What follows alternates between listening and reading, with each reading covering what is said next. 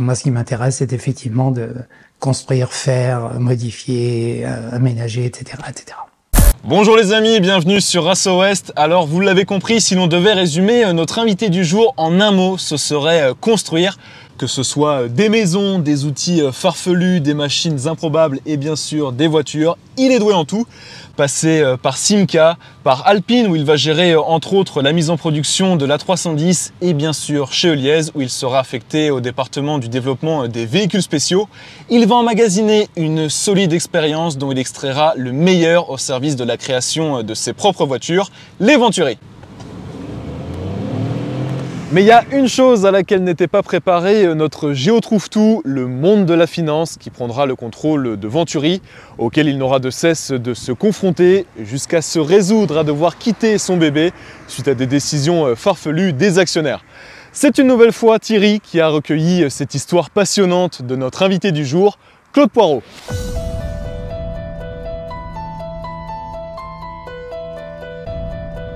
Peut-être sur Venturi, en voyant, en sachant qu'effectivement les vautours sont toujours là sur leur perchoir, quel que soit l'endroit, quel que soit le produit, et je me protégerai non pas moi, mais l'entreprise en disant et ça il ne faut pas le faire, ça il ne faut pas l'accepter. Si vous me dites aujourd'hui que vous l'acceptez, moi je n'y vais pas. Bonjour Claude Poirot. Bonjour Thierry. Alors merci de nous, nous recevoir dans les Deux-Sèvres, où vous résidez. Pour euh, inaugurer ce programme, on a commencé par l'interview de votre acolyte de toujours, euh, Gérard Godefroy. Gérard. On était obligé de poursuivre avec vous. Ma première question, c'est euh, finalement quel est votre plus vieux souvenir avec l'automobile? Oh, mon plus vieux souvenir remonte, oui, quand j'avais 18 ans, c'est-à-dire il y a bien longtemps, où j'étais déjà un peu pris dans le cycle automobile en travaillant pour mes vacances d'été dans un garage chez un ami. Enfin, le, oui, c'est un ami dont son père était garagiste et je travaillais toutes les vacances.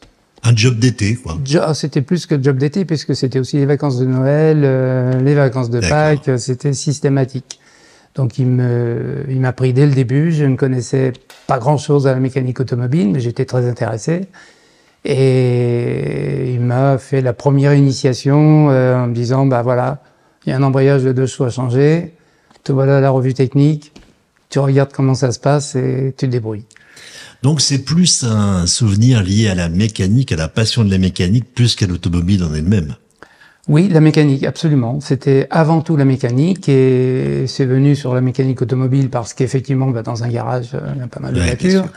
Et puis de là, ben, j'ai vraiment développé, appris et, et c'est là où c'est venu petit à petit en me disant, mais oui, on peut faire ci, on peut faire ça. Puis après, euh, bah, à 18 ans, on a un permis de conduire, on commence à rouler, on prend du plaisir et, et là sont venues plein d'idées d'amélioration, de, de performance, etc., etc. Donc euh, voilà, c'est le premier souvenir.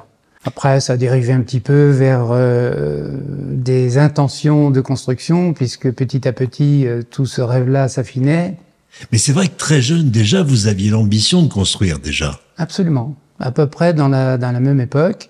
Avant, je n'avais pas de connaissances ni, ni d'intention, mais le fait d'avoir découvert ce monde de l'automobile, en changeant à la fois des plaquettes de frein, euh, des embrayages, des moteurs, des boîtes de vitesse, et petit à petit m'est venu effectivement ce goût et cette envie de, de construire, tout en m'intéressant plutôt aux belles voitures quand même. Donc euh, ma voiture fétiche, qui est toujours un peu le cas, c'est la Lamborghini Murat, qui avait pour moi à l'époque où elle est sortie, c'était le NEC plus ultra, c'est-à-dire une euh, une voiture à moteur central qui soit une voiture de grand tourisme, parce que j'ai jamais été attiré par les les vraies voitures de compétition, hein, monoplace et autres, faisant essentiellement de la compétition, non, mais le grand tourisme, oui.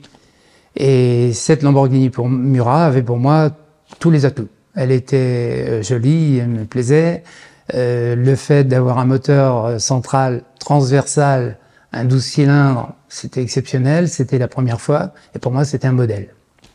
Puis ça me trottait dans la tête et, et j'ai eu jusqu'à cette envie de dire mais je viens de constater que la Simca 1100 euh, avait un moteur transversal, c'était les premières voitures à moteur transversal, avait un moteur transversal incliné juste comme il le fallait par rapport à l'essieu.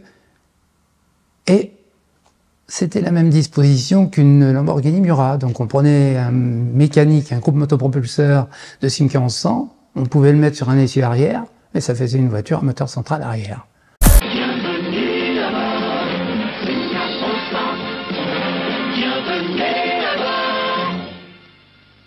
Donc l'idée était née, et à partir de ce moment-là, j'ai dit, bah tiens, pourquoi pas, je vais essayer, je vais m'amuser.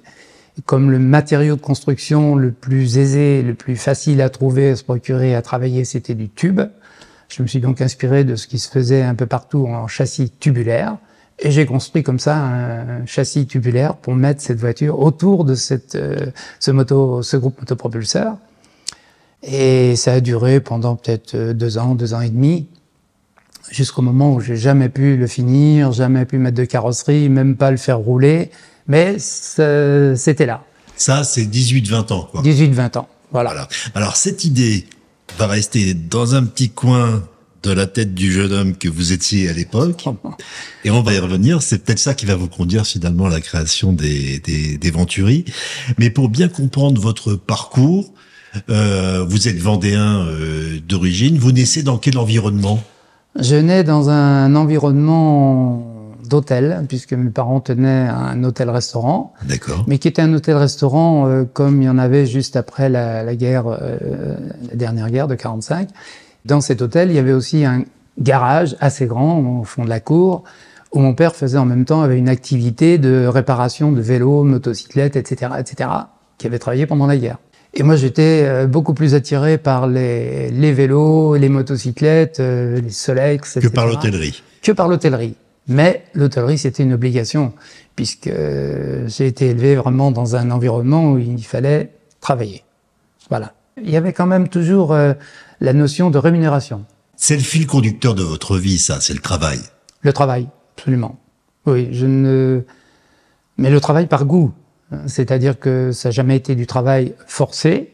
Dès l'instant que je travaillais, mes parents euh, étaient complètement d'accord avec mes choix. Mais il fallait travailler. Si j'avais dit euh, je n'ai plus envie de travailler, je ne veux plus à l'école, je ne veux plus, non non. Ça, c'était pas possible. Non, c'est pas pour moi. Alors, on rappelle que vous êtes né euh, comme votre acolyte, Gérard Godefroy, en 46, pardon, mais c'est vous le plus vieux. Je suis son aîné, je suis né en janvier 46. C'est ça. Il est né quelques mois plus tard. Voilà.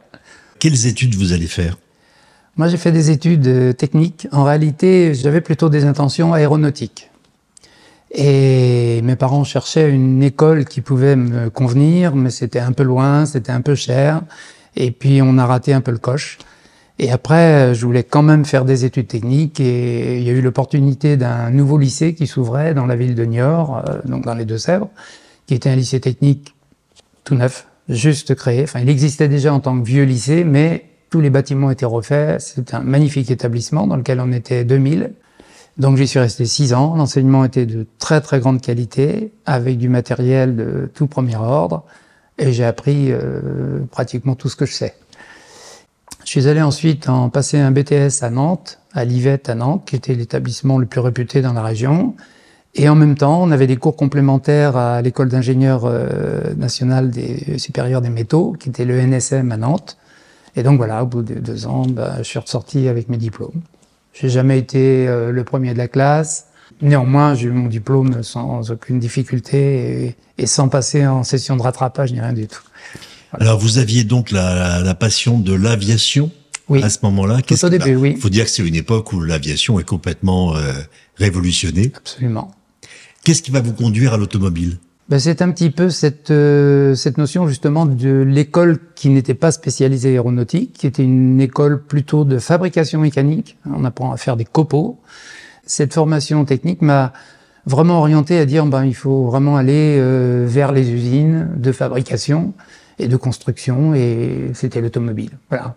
Euh, Alors quel va être votre premier emploi dans l'automobile? Alors mon premier emploi, d'abord euh, juste de terminer les diplômes, il se trouve que là dans mon parcours de vie, euh, je me suis marié puisque effectivement on avait un petit peu, je j'étais déjà euh, affilié à mon épouse euh, qui est venue après mon épouse, mais enfin dès l'âge de 15 ans, j'avais fait mon choix, elle avait fait son choix.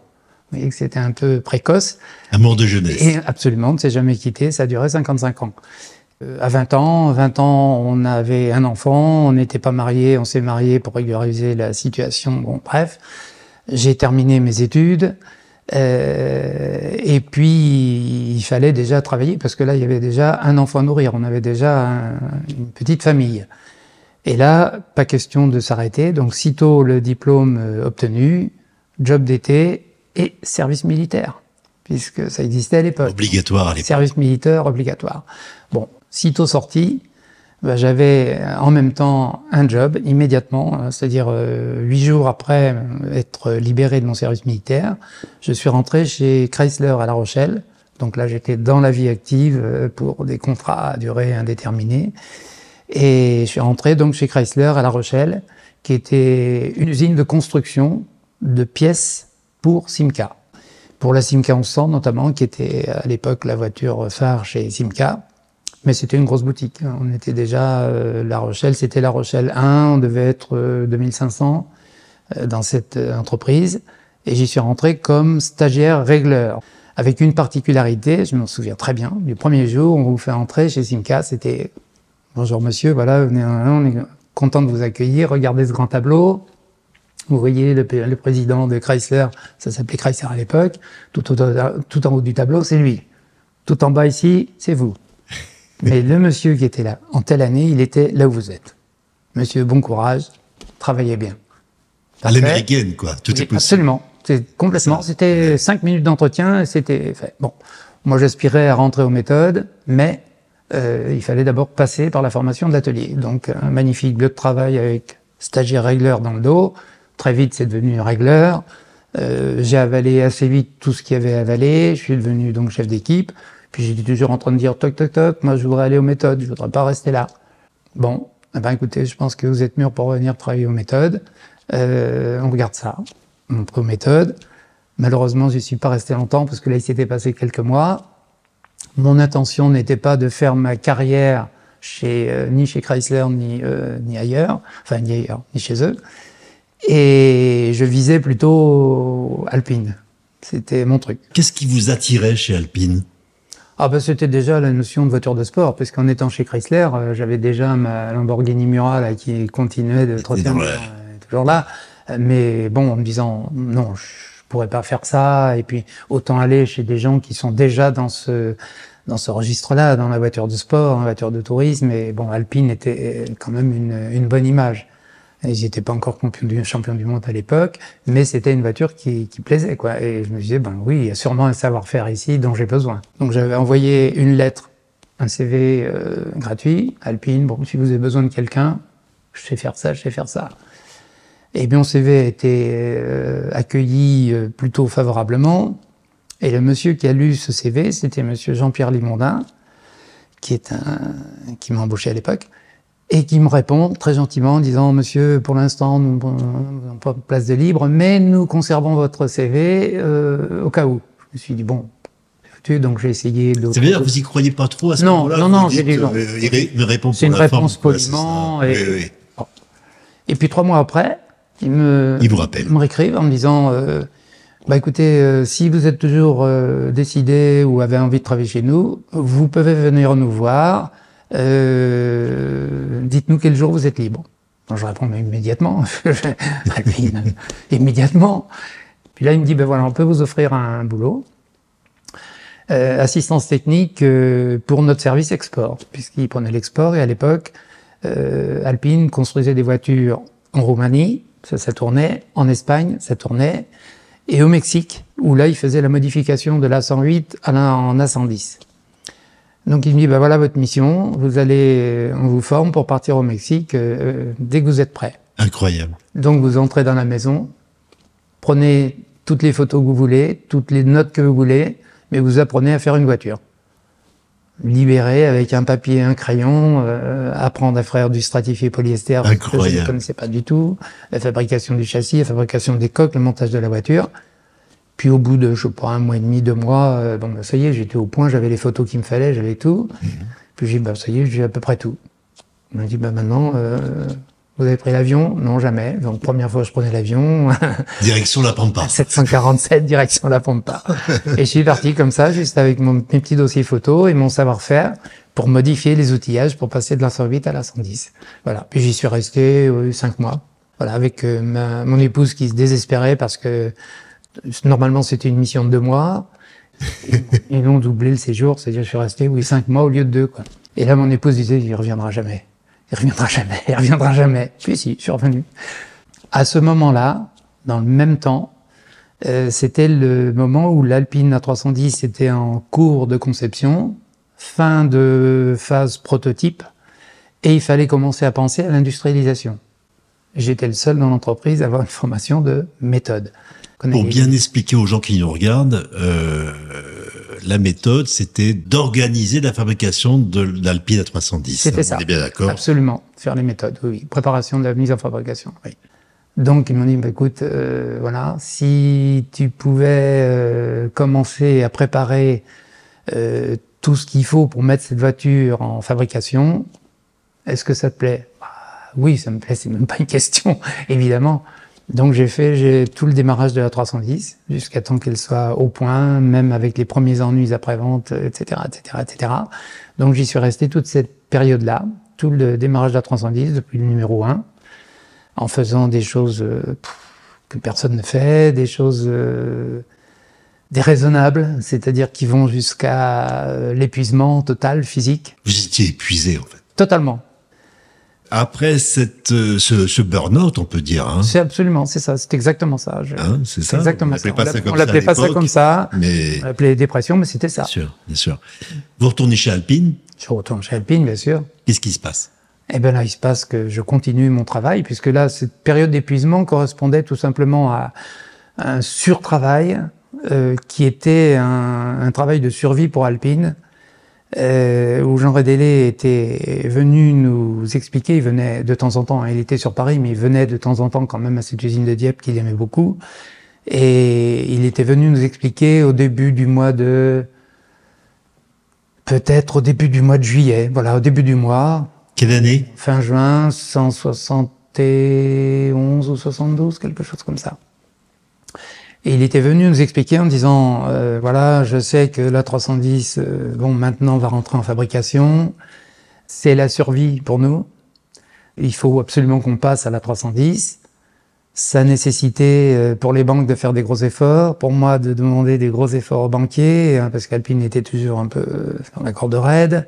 Cette usine de toute neuve de l'avenue de Breauté avait coûté cher. Et là, il était venu nous expliquer qu'effectivement, si la 310, euh, on ratait ce démarrage, euh, ça allait poser d'énormes problèmes. Et en fait, il avait promis, il l'a dit, enfin j'ai su aussitôt après, on me l'a dit, euh, qu'il avait promis aux banquiers, pour les rassurer, que la voiture, il sortirait, je sais plus combien, deux voitures ou quatre voitures par jour, dès la rentrée septembre. Alors, c'était facile à promettre, c'était impossible à tenir.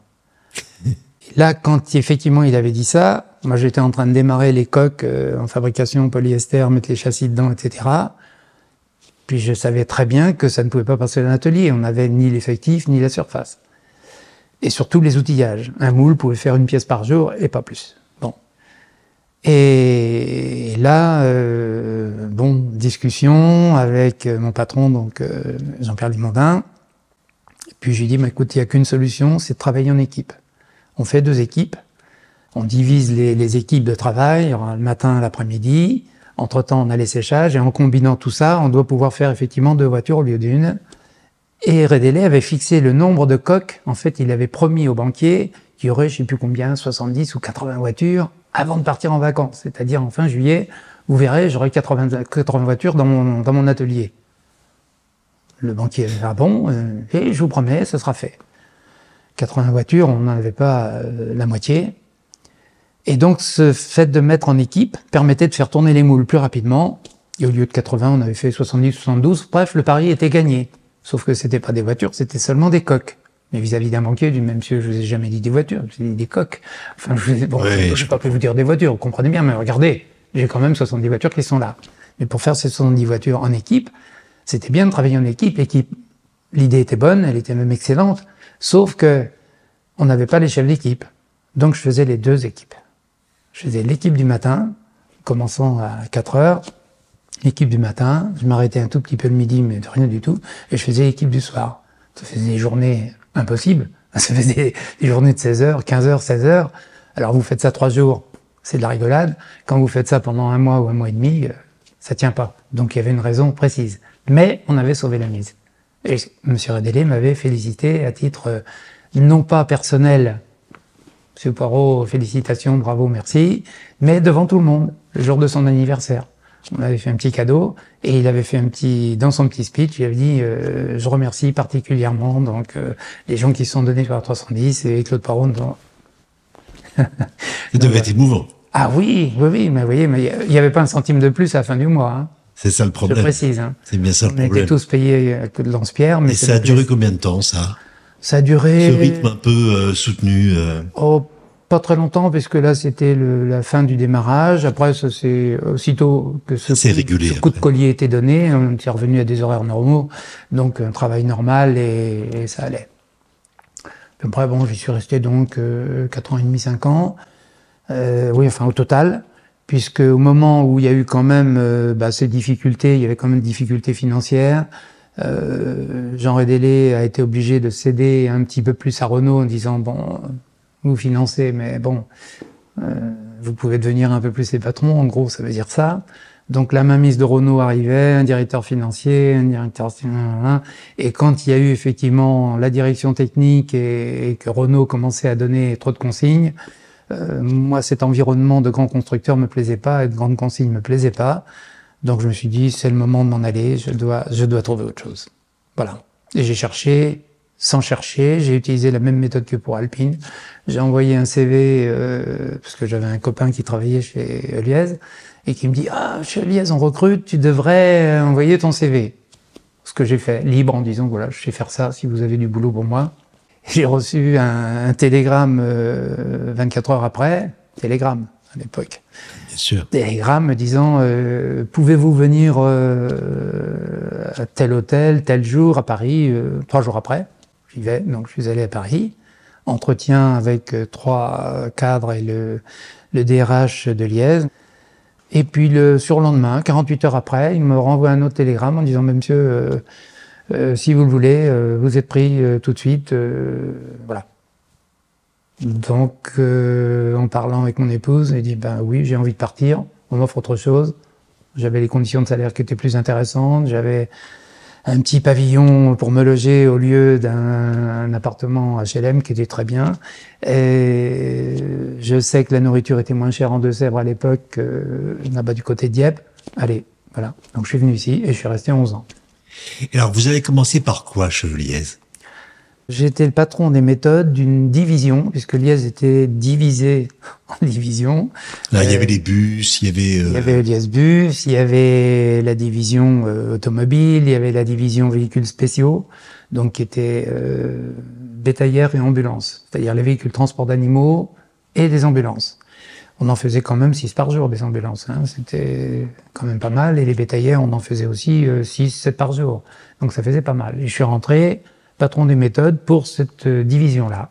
Voilà, je suis resté oh, peut-être pendant deux ou trois ans, et puis après, euh, je suis passé chef de fabrication. Et puis très vite, euh, Monsieur Camp, qui était le patron euh, de toute la fabrication, de toute l'usine, a vu que j'avais des capacités pour l'automobile, un peu plus quand même. Et puis, euh, qu'en même temps, tout ce qui était spécial, c'était pour moi.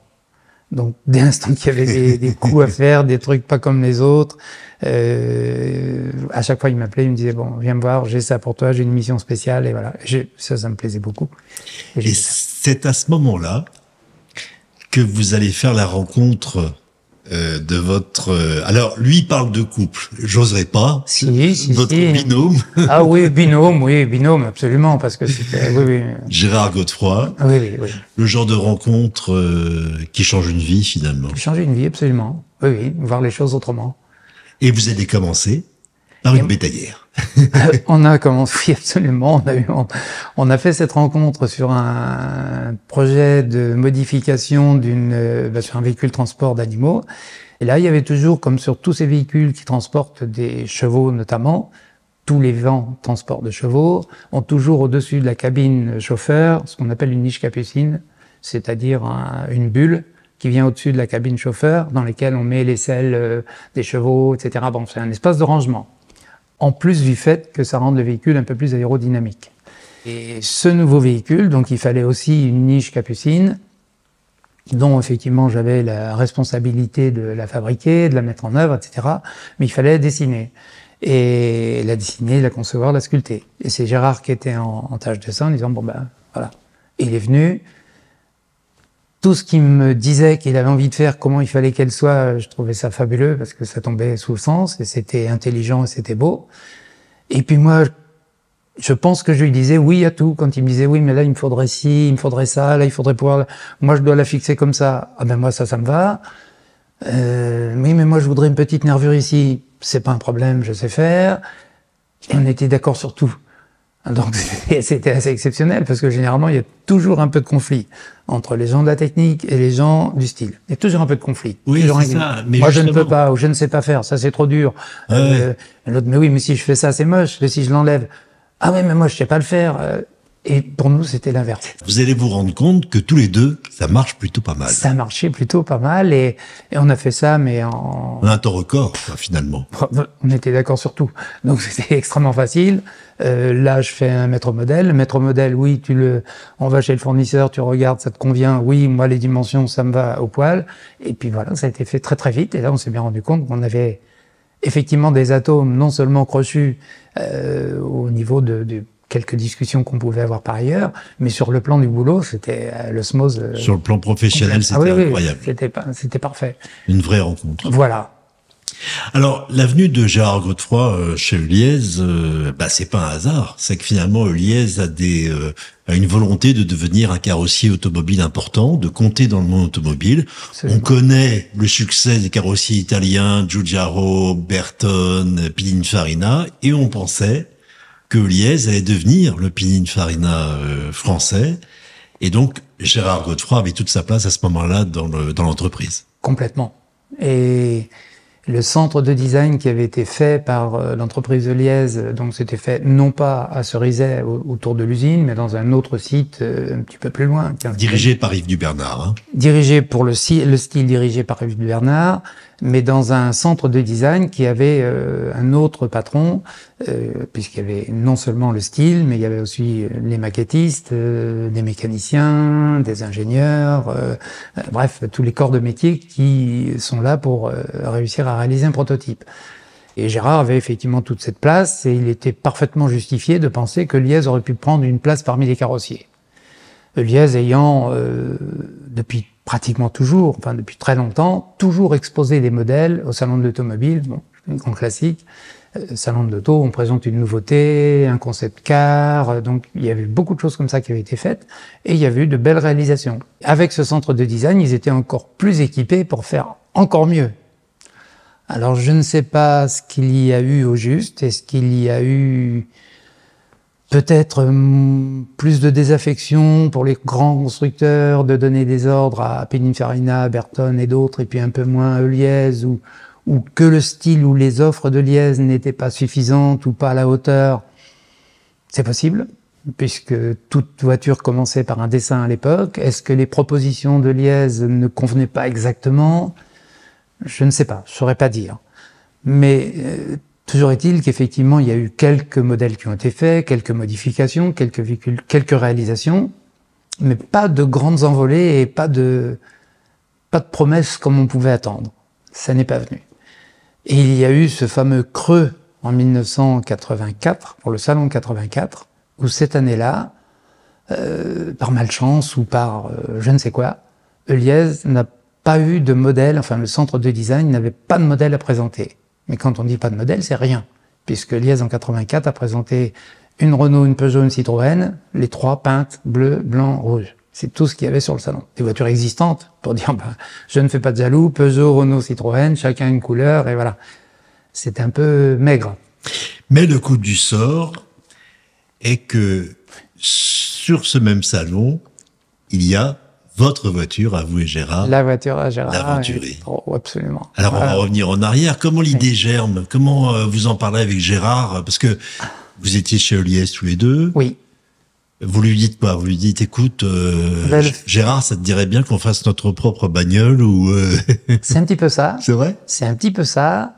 Euh, puisqu'en ayant fait effectivement sa connaissance et que l'on ait appris à se connaître tous les deux un Et petit puis peu des plus, compétences qui vous plaisaient. là je me suis dit mais c'est Ouais. c'est pas possible d'avoir un Ouais. don comme ça pour être capable de sortir des formes et du premier coup avec rien et de savoir exactement je place telle ligne à tel endroit et elle est bonne du premier coup, c'est à la fois joli et fonctionnel. euh, Bon, je trouvais Ouais, ça fabuleux.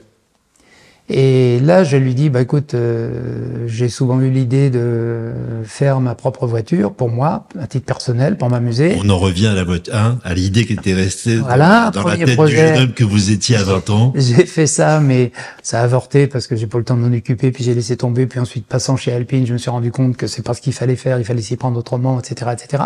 Donc là, j'avais pris beaucoup de métiers chez Alpine. Et je lui dis, euh, bah, j'ai l'intention de, de commencer autre chose. Et mon idée serait effectivement de le faire sur un petit châssis euh, tubulaire façon alpine.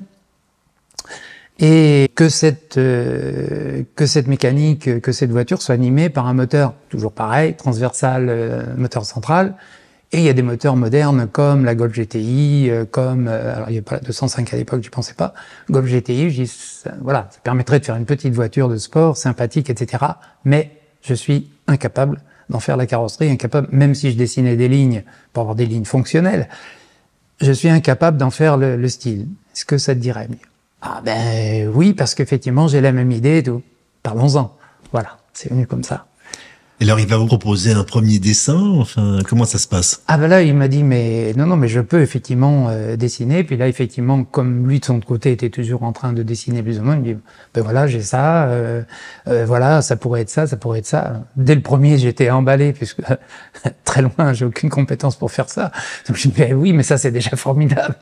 Et puis après, il s'est mis à faire une maquette. On a repris des dimensions, on s'est mis d'accord sur un empattement, sur une voie qui était donc la voie de la 205 améliorée, etc.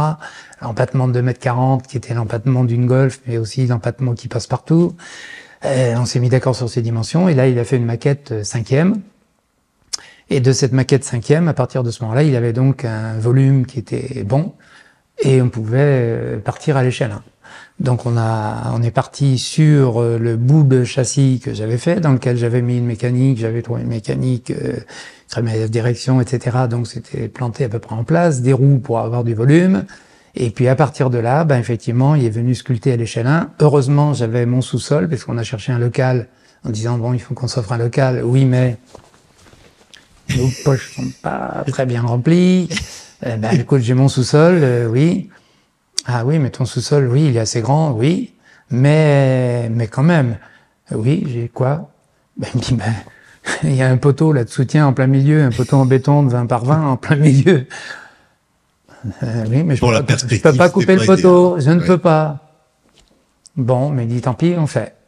Et on a fait. Donc, euh, construire un bout de marbre permettant de prendre des dimensions, lui s'occupant d'obtenir les matériaux de base de mousse polyuréthane qu'il a échangé avec le constructeur de pressoir Valin, etc.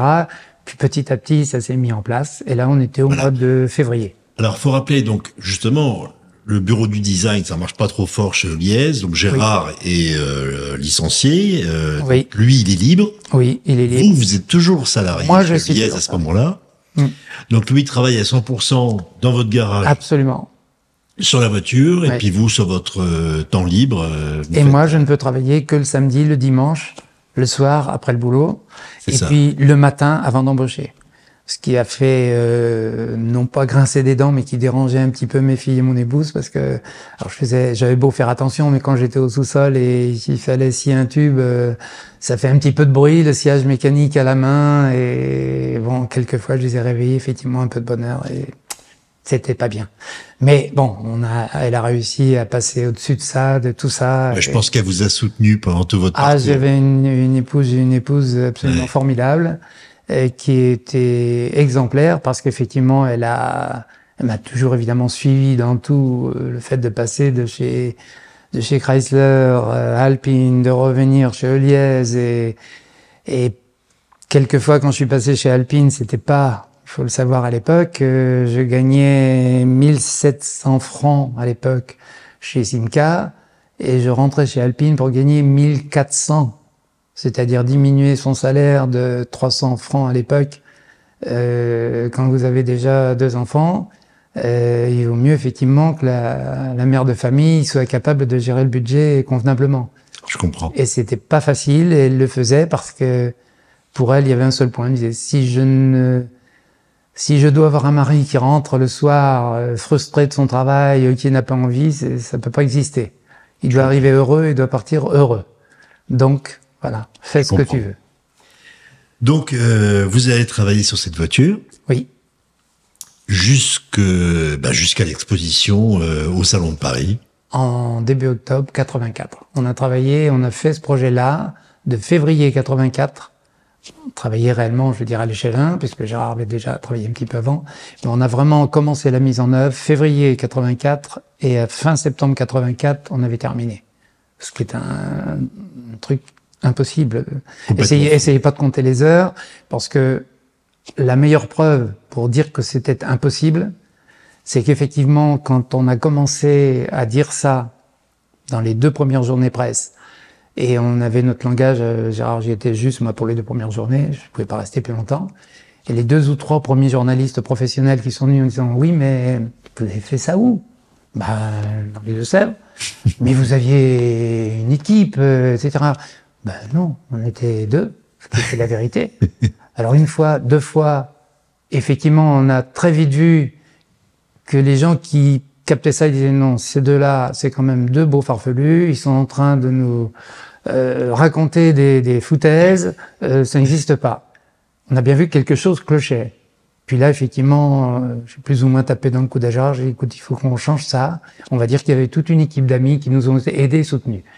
Donc bêtement, on s'est mis à mentir, en disant, oh non, mais on avait des amis qui nous aidaient. Ah bon, là, d'accord, ça, ça- devient beaucoup plus plausible. Parce que deux types euh, qui commencent février, mars, avril, mai, juin, juillet, août, septembre, c'est-à-dire en huit mois, euh, vous sortez ce genre de truc, euh, ça n'existe pas. Même Liège avec une équipe complète euh, le faisait à peine. Donc ça n'existait pas. Bon, bien sûr, Bien nous, n'était pas en train de tergiverser. Hein. Quand Gérard disait c'est là, la ligne c'est là, on fait. Et c'était bien. Euh, Bien sûr. Voilà. Mais quand même. Alors, euh, à un moment donné, avant d'arriver justement euh, à l'exposition de cette voiture euh, au salon, Oui. au départ, vous avez peur de pas y arriver et vous Oui. proposez ce projet à Uliès, Absolument. qui n'a pas l'accepté. Ils n'ont pas accepté. Peut-être ont-ils eu tort, peut-être, euh, peut-être tant mieux. et effectivement, on a douté un moment, donc euh, fin des vacances, fin du mois d'août, là, on voyait qu'on Vous était, vous êtes dit, on va pas y arriver. voilà, bien avancé à tous les deux. Ouais. On se regardait, on voyait que déjà on était quand même euh, bien épuisés, puisque là, les vacances, pas question de vacances pour moi. Pour Gérard, il était toujours libre. Et, et là, on s'est dit bon, peut-être, peut-être, si on avait l'équipe Liège, ce serait bien. Et Gérard me dit, ben oui, écoute, on peut en parler, pourquoi pas. Enfin, on a discuté assez longuement. Il me dit, pourquoi pas. Et je suis allé donc, puisque moi j'étais toujours salarié Liège, j'ai proposé ça à mon patron en disant, écoute, euh, voilà, tu sais que on est en train de faire un truc avec Gérard Godefroy. On a l'intention de présenter au salon. Honnêtement, euh, on ne sait pas si on est capable d'y arriver parce qu'on va manquer un peu. Mais si l'équipe Liège voulait reprendre ce projet, je sais que vous n'avez rien à présenter, on est prêt à céder, euh, pas de problème. Et ils ont envoyé, euh, donc là, Monsieur Kevo, président de l'entreprise, a envoyé le patron du design, qui était Monsieur Pierre Thierry à l'époque, qui est décédé également aujourd'hui, et en lui disant, bah, écoute, va voir ce que sont en train de faire euh, Gérard et Claude, essaie de voir avec eux euh, à quoi ça ressemble, qu'est-ce que c'est. puisqu'on Bah, c'est les intrigues, quoi. ça les intrigue. Ils ont, ils ont entendu dire qu'on devait, on allait présenter au salon. Ouais. Alors ça, ils l'avaient appris par un, un petit article du, dans la presse locale, puisqu'on avait déjà trouvé le sponsor du Crédit Agricole. Et ils avaient appris ça en disant, ça y est, une voiture au salon. euh, Qu'est-ce que c'est que ça? Qu'est-ce que c'est que ce truc? Chez nous. euh, Voilà, et dans le même temps, nous, on n'a rien, euh, ça va nous... Qu'est-ce que c'est que ce truc? Bon, ça te dérangeait un peu. Et là, ce monsieur Thierry donc m'appelle, il me dit, Claude, est-ce que je peux voir ce que vous êtes en train de faire? Bah, viens Pierre, il n'y a pas de problème. Euh, bon, on est entre professionnels, euh, je te fais confiance pour euh, ne pas divulguer ce qu'on est en train de faire de trop, mais viens voir. Donc il est venu, il a regardé, il a trouvé ça sûrement pas mal. Et puis, ensuite, il est allé voir le, le patron, Monsieur Kevo, son patron, et je ne sais pas ce qu'il lui a dit, mais probablement il l'a rassuré en disant ils s'en sortiront jamais, ils n'y arriveront jamais, c'est pas possible. Il avait un peu raison. Et puis euh, euh, nous reprendre ça, je vois peut-être pas trop l'intérêt. C'est sûrement ce qu'il a dû dire. C'est ce que vous pensez, oui. Hmm. Et donc Monsieur Kevo s'est dit bon ben euh, laissons-les rouler, laissons-les euh, les écraser contre le mur. Et puis on n'en parlera plus. Et ça va faire pchit et puis voilà. Voilà, ça va faire pchit. Sauf que la voiture est exposée au salon. Et ben voilà. Eliès n'a quasiment rien à montrer. Voilà. Et puis alors vous, vous avez l'aventurier qui trône, Eh oui. qui brille de mille feux, Eh avec oui. le nom de Gérard Godefroy Oh, voilà. juste au-dessus. Absolument. Et là, du coup, bah, Ben là, du coup, Eliès se rend compte qu'ils ont peut-être raté quelque chose, non? Peut-être, ça je ne sais pas. Ils l'ont, au, au fil des ans, j'ai entendu évidemment d'autres collègues, et y compris euh, un monsieur Eliès, donc qui est décédé également, qui s'appelle Jean-Pierre Eliès, qui effectivement m'a dit mais bon sang, pourquoi est-ce qu'on n'a pas pris ça? Je dis mais Jean-Pierre, euh, Je vous l'avais proposé. je l'ai offert à, à ton frère. Ben oui, je sais bien, mais, mais... bon, enfin bref, euh, il est parti, mais c'est trop tard, c'est fait, euh, on n'en parle plus. Et effectivement, là aussi, le premier jour de, de- du salon, il y a toujours les photographes qui diffusent, la presse régionale qui nous met en première page avec une photo en disant les de Sévrien à l'honneur avec une voiture, hein, deux anciens de Liège. Alors là, ça a été la goutte d'eau qui a fait déborder le vase, ce qui fait que moi, quand je suis rentré du salon, donc le lendemain, je suis arrivé, j'ai été convoqué dès le matin, disant Claude, euh, bah, il faut que tu t'en ailles, il faut que tu démissionnes. Je dis mais pourquoi? Ben parce qu'effectivement euh, le patron veut que tu t'en ailles. Et ah, je Ben, euh, oui, c'est peut-être c'est sympathique, mais je vois pas pourquoi je m'en irais. Et il me dit si si, mais on a un bon motif, c'est une concurrence déloyale. Alors là, j'ai éclaté de rire parce que je connaissais bien le, le DRH qui m'interrogeait, enfin, qui me demandait de partir. J'ai éclaté de rire en disant quand même, Pierre, soyons sérieux. Concurrence déloyale, une entreprise comme Eliez, 2000 personnes, solide, industrielle, et concurrence déloyale. Claude Poirot, avec sa caisse à outils, c'est une caisse à outils que j'ai toujours, que je pourrais vous montrer. C'est un truc rigolo, qui était grande comme ça, que j'avais depuis mes 18 ans. J'ai quand même, Pierre, quand on va aller au prud'homme, euh, bon. alors il est parti à rire lui aussi, il m'a dit non, bon, écoute, tu as compris, il faut que tu t'en ailles. Oui, je m'en vais, d'accord, discutons-en. On s'est mis d'accord sur les conditions, je suis parti dans de très bonnes conditions. Mais ils étaient blessés, en fait. Ah oui, oui, absolument, mais, mais je veux bien l'admettre. J'aurais été à la place de Gérard Québeau, je pense que j'aurais eu la même blessure, pareil. Bien sûr. Probablement aussi, j'aurais appelé mon patron du design en disant euh, Qu'est-ce que c'est que ces sornettes? Euh, Tu m'as dit que c'était un truc qui ressemblait à rien. Tu m'as dit qu'ils s'en sortiraient pas. Ouais, Ils s'en sont sortis. Et, non, et ça ressemble à quelque chose. Alors là, peut-être j'aurais fait de la mise au point. Peut-être l'a-t-il fait, je l'ignore. Sûr. voilà, n'étiez plus là pour le voir. non, je pourrais le demander aujourd'hui à Monsieur Kevo. Si je lui demandais un entretien, il me l'accorderait parce que on peut se voir dans la rue. Hein, il va me Ouais. dire Claude, comment vas-tu Parce qu'on s'est revu plusieurs fois. Et ce qui les a intrigués, alors d'abord, sitôt que la voiture a été faite, sortie, et qu'il a appris que l'on allait l'industrier, il s'est passé plusieurs mois.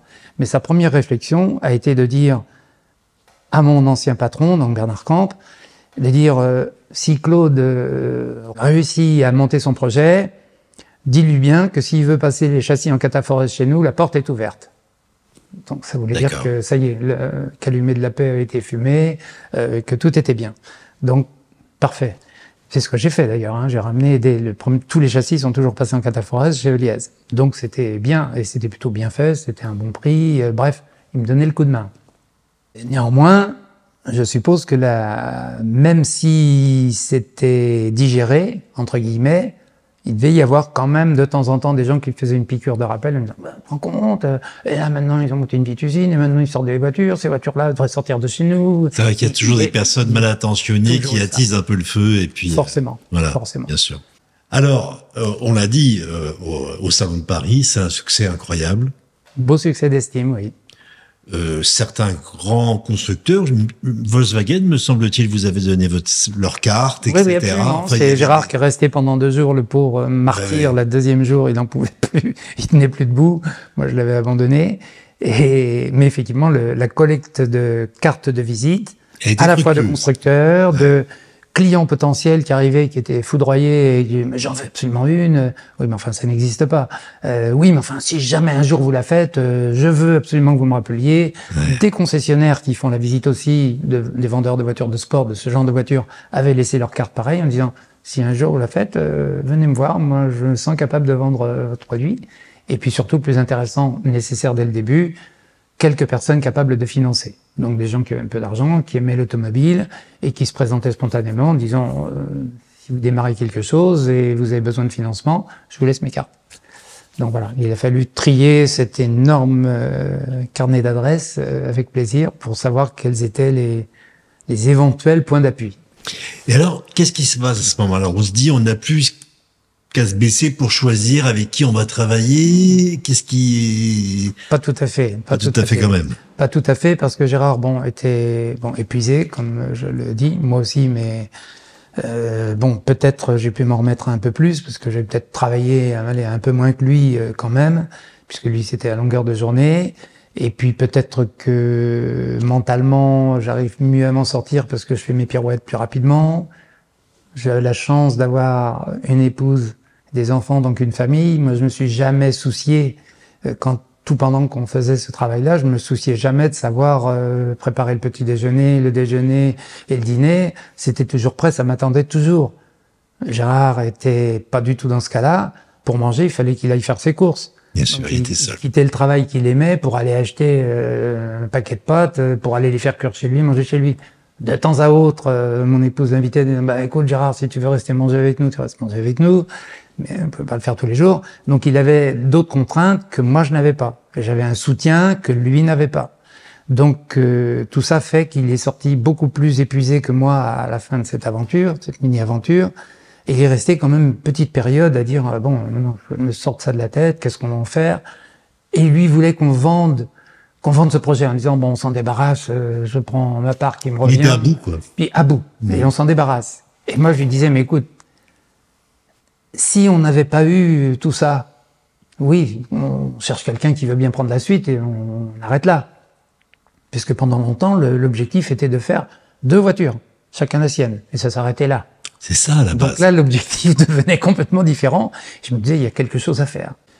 Et après avoir eu cette récolte et avoir discuté avec suffisamment de gens, là, je me suis dit, ben, puisque moi, de toute façon, je suis licencié, il faut que je fasse autre chose maintenant, il faut bien que je me retrouve un autre boulot, pourquoi ne pas puisqu'il y avait les demandes réellement de concessionnaires en disant si un jour vous la construisez, à la vendre.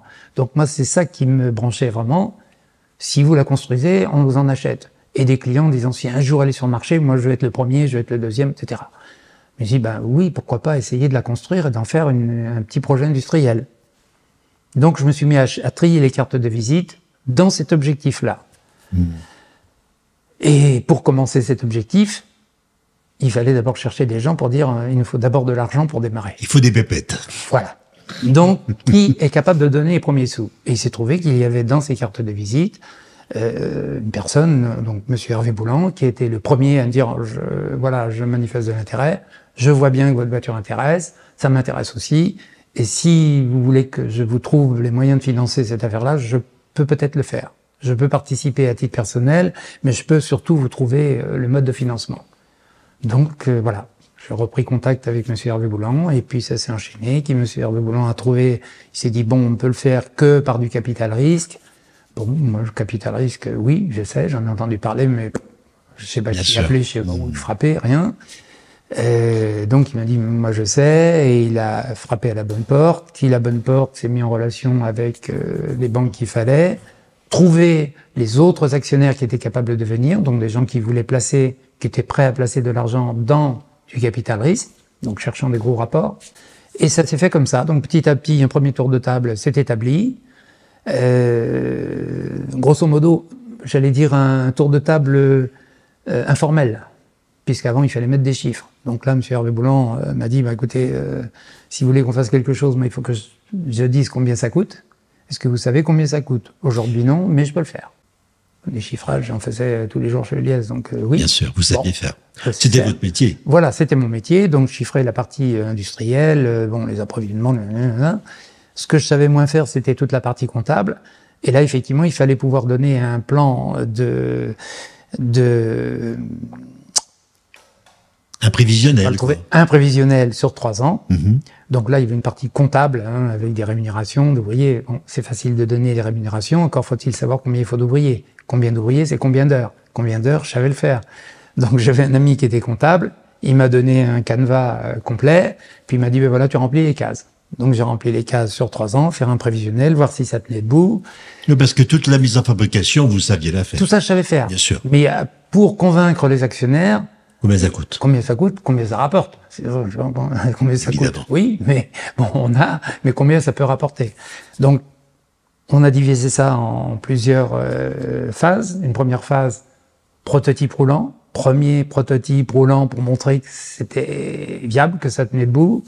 Et puis ensuite, euh, une homologation. Donc, ça veut dire euh, trois prototypes roulants différents, mais capables d'être homologués.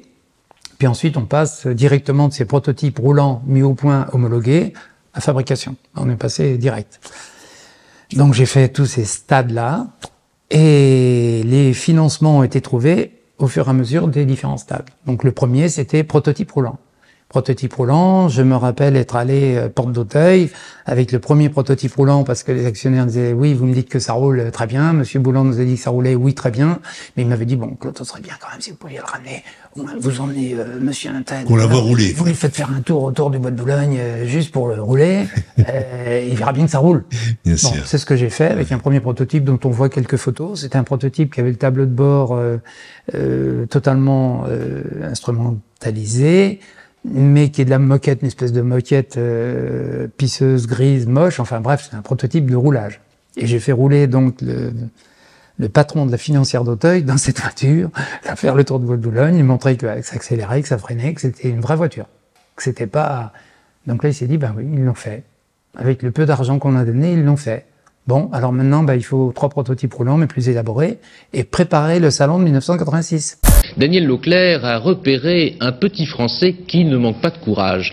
Ce constructeur marginal s'appelait Claude Poirot et sa voiture la Venturi.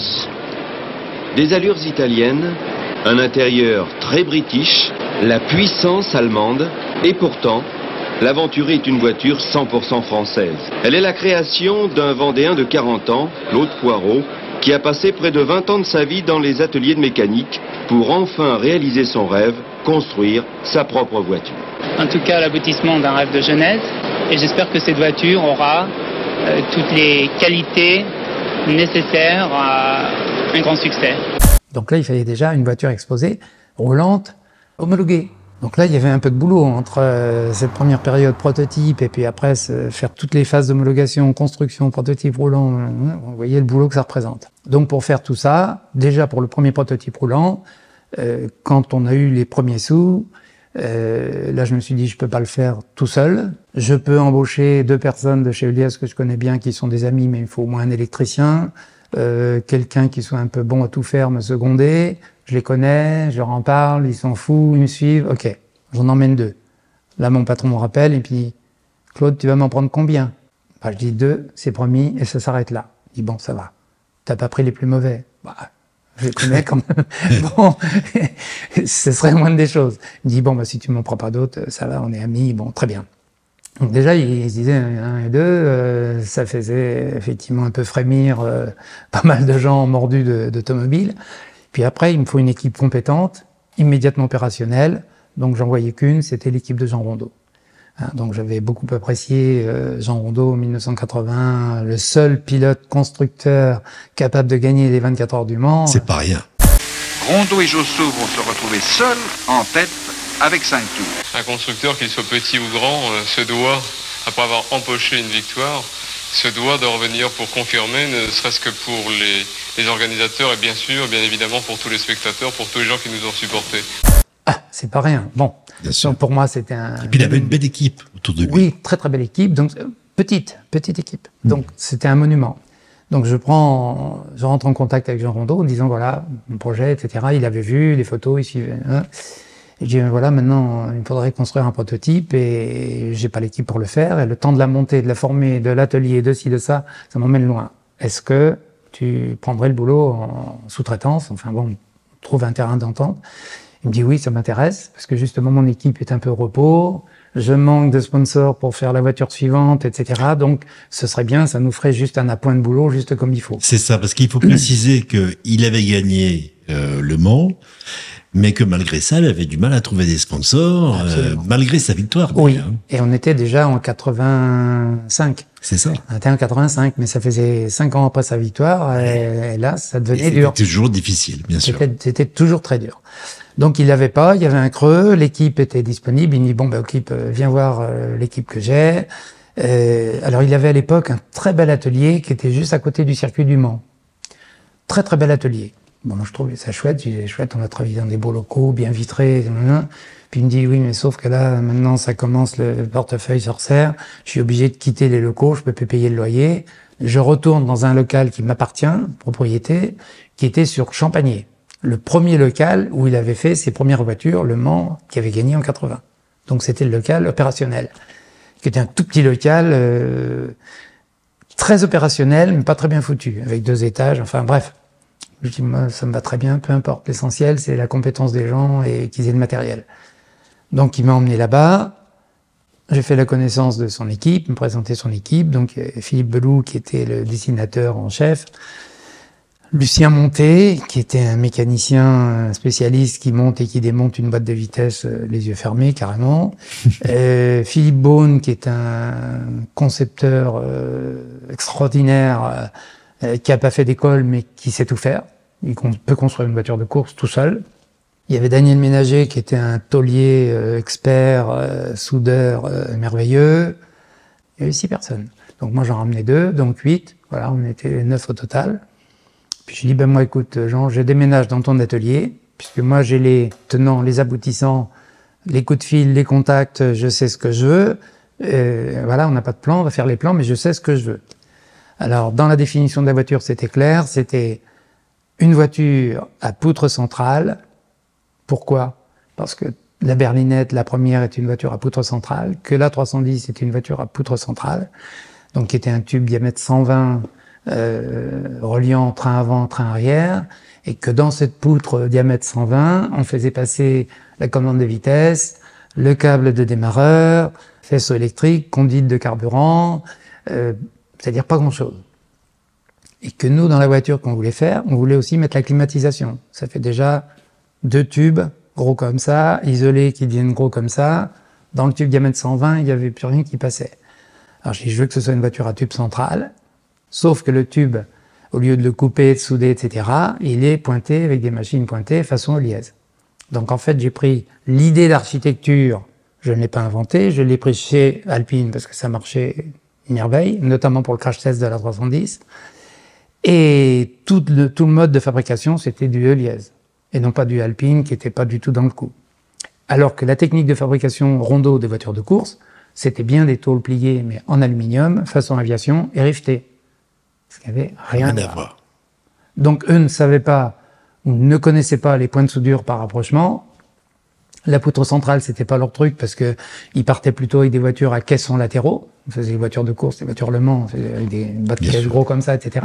Donc c'était des architectures différentes et un prix de revient différent. C'est-à-dire que le châssis d'une Venturi n'a rien à voir avec le prix de châssis d'une Rondeau euh, capable de gagner Le Mans. Donc c'est toute cette méthode, toute cette euh, façon de fabriquer, ben, c'était pour moi mon cahier des charges. Puis après, ben, c'est l'équipe Rondo qui a dit, ben ok, on dessine, il nous faut tant par temps. Hein. Et on a fait avancer la voiture comme ça. Sur un premier prototype, euh, alors au début on avait dit des McPherson parce que ça coûte moins cher. On pouvait pas dire que ça marchait pas parce que sur une Porsche 944 c'est du McPherson, sur une BMW c'est du McPherson, donc vous pouvez dire ça marche pas. Et c'était très performant. Sauf que nous, quand on a voulu faire du McPherson, on n'a jamais réussi à le faire marcher convenablement. Pourquoi? Ben Parce qu'il y avait beaucoup de frottements, notamment McPherson, c'est pas seulement une jambe de force avec un point de pivot et un triangle en bas. le point de pivot supérieur qui subit beaucoup de charge, en fait, c'est une pièce très, très, très technique, avec euh, soit des roulements à billes, soit des glissements, mais c'est très technique. Et ça, on n'a pas été capable de le faire ou de reproduire ou de l'acheter. Donc on avait quand même ça, mais honnêtement, ça marchait pas très bien. Puis on avait le moteur arrière qui était un moteur euh, 2 litres euh, Peugeot turbo, 200 chevaux, bon bref, une boîte de vitesse euh, Matra pour être en transversal, hein, un petit peu ma... Le Matra Murena. Hein. Matra Murena, puisque je voulais du transversal central, bon ça correspondait. Hmm. Bref, on a fait ce prototype qui a roulé, qui roulait, qui pouvait être assez performant, mais qui roulait. Quand on l'a donné chez Michelin, très vite Michelin, eux ils commencent par prendre le châssis, ils font une mesure de résistance torsionnelle, chez eux ils ont les bancs spéciaux, mais c'est la première chose qu'ils font, avant de regarder les... Ils vont tordre la voiture d'un train avant, train arrière, et mesurent la rigidité tensionnelle du châssis. C'est la première chose qui est faite. Ils font rouler la voiture avec les pneus qu'ils avaient, eux, à mettre sur place. Ils font rouler la voiture, les meilleurs pneus adaptés en fonction de suspension, etc. Puis, au bout du compte, au bout de quelques jours de- d'essai, ils nous disent, bah, écoutez, ça va pas mal, mais vos ambitions de performance sont difficiles à atteindre et on trouve que c'est pas extraordinaire. Voilà. Vous allez avoir du, des difficultés dans le développement et honnêtement, l'objectif à atteindre, ce sera pas facile. Bon. On est reparti avec notre colis.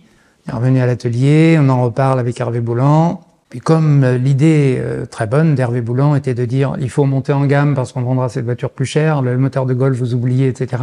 Il faut monter en gamme, il faut une voiture plus puissante, etc., etc. On la vendra plus cher, c'est pas un problème. Bon, alors il dit pourquoi pas un V6 ben, J'ai un V6, il y en a qu'un, c'est celui d'Alpine. Il est longitudinal, mais tant pis. Mais pour nous, on le remet euh, implantation Renault 25, hein, c'est-à-dire on, tou- on tourne le couple conique pour avoir 4 vitesses, dans- 5 vitesses dans le bon sens. Et il me dit, bah oui, euh, très bien, pourquoi pas, ce moteur euh, va bien sur l'Alpine, pourquoi pas Il suffit de l'avoir. Il dit, bah ça, à vous. Donc je me suis mis en contact avec euh, une société qui s'appelle Renault Moteur, qui vendait tous les composants de chez Renault pour l'export. Les composants Renault à Ford, à tous les gens qui voulaient acheter les composants Renault. Je dis, ben moi, il me faudrait un moteur Alpine avec la boîte de vitesse. Pas de problème, ça on a. C'est nous qui avons fait le développement, on peut vous le vendre. Je dis, oui, mais enfin, Alpine, ça c'est notre problème. C'est le moteur nous appartient plus qu'à Alpine. C'est nous qui avons payé le développement, c'est nous qui l'avons fait, c'est nous qui vendons, c'est un moteur Renault. Mais on va demander la permission, etc. Ils l'ont demandé, ça a tiqué un peu, mais ils l'ont obtenu. Ils m'ont dit c'est d'accord. Donc ça s'est fait. Renault nous a fourni un moteur. Et puis j'ai ramené ce moteur V6 donc à l'atelier de Champagné en disant ben écoutez voilà puisque le développement de notre premier exemplaire euh, n'a pas beaucoup d'avenir, on change tout. On met moteur V6, euh, boîte de vitesse euh, derrière. En longitudinal, on peut donc changer les suspensions euh, train arrière, parce que ça fait un train arrière très différent. Le train avant, plus de McPherson, on met du double triangle.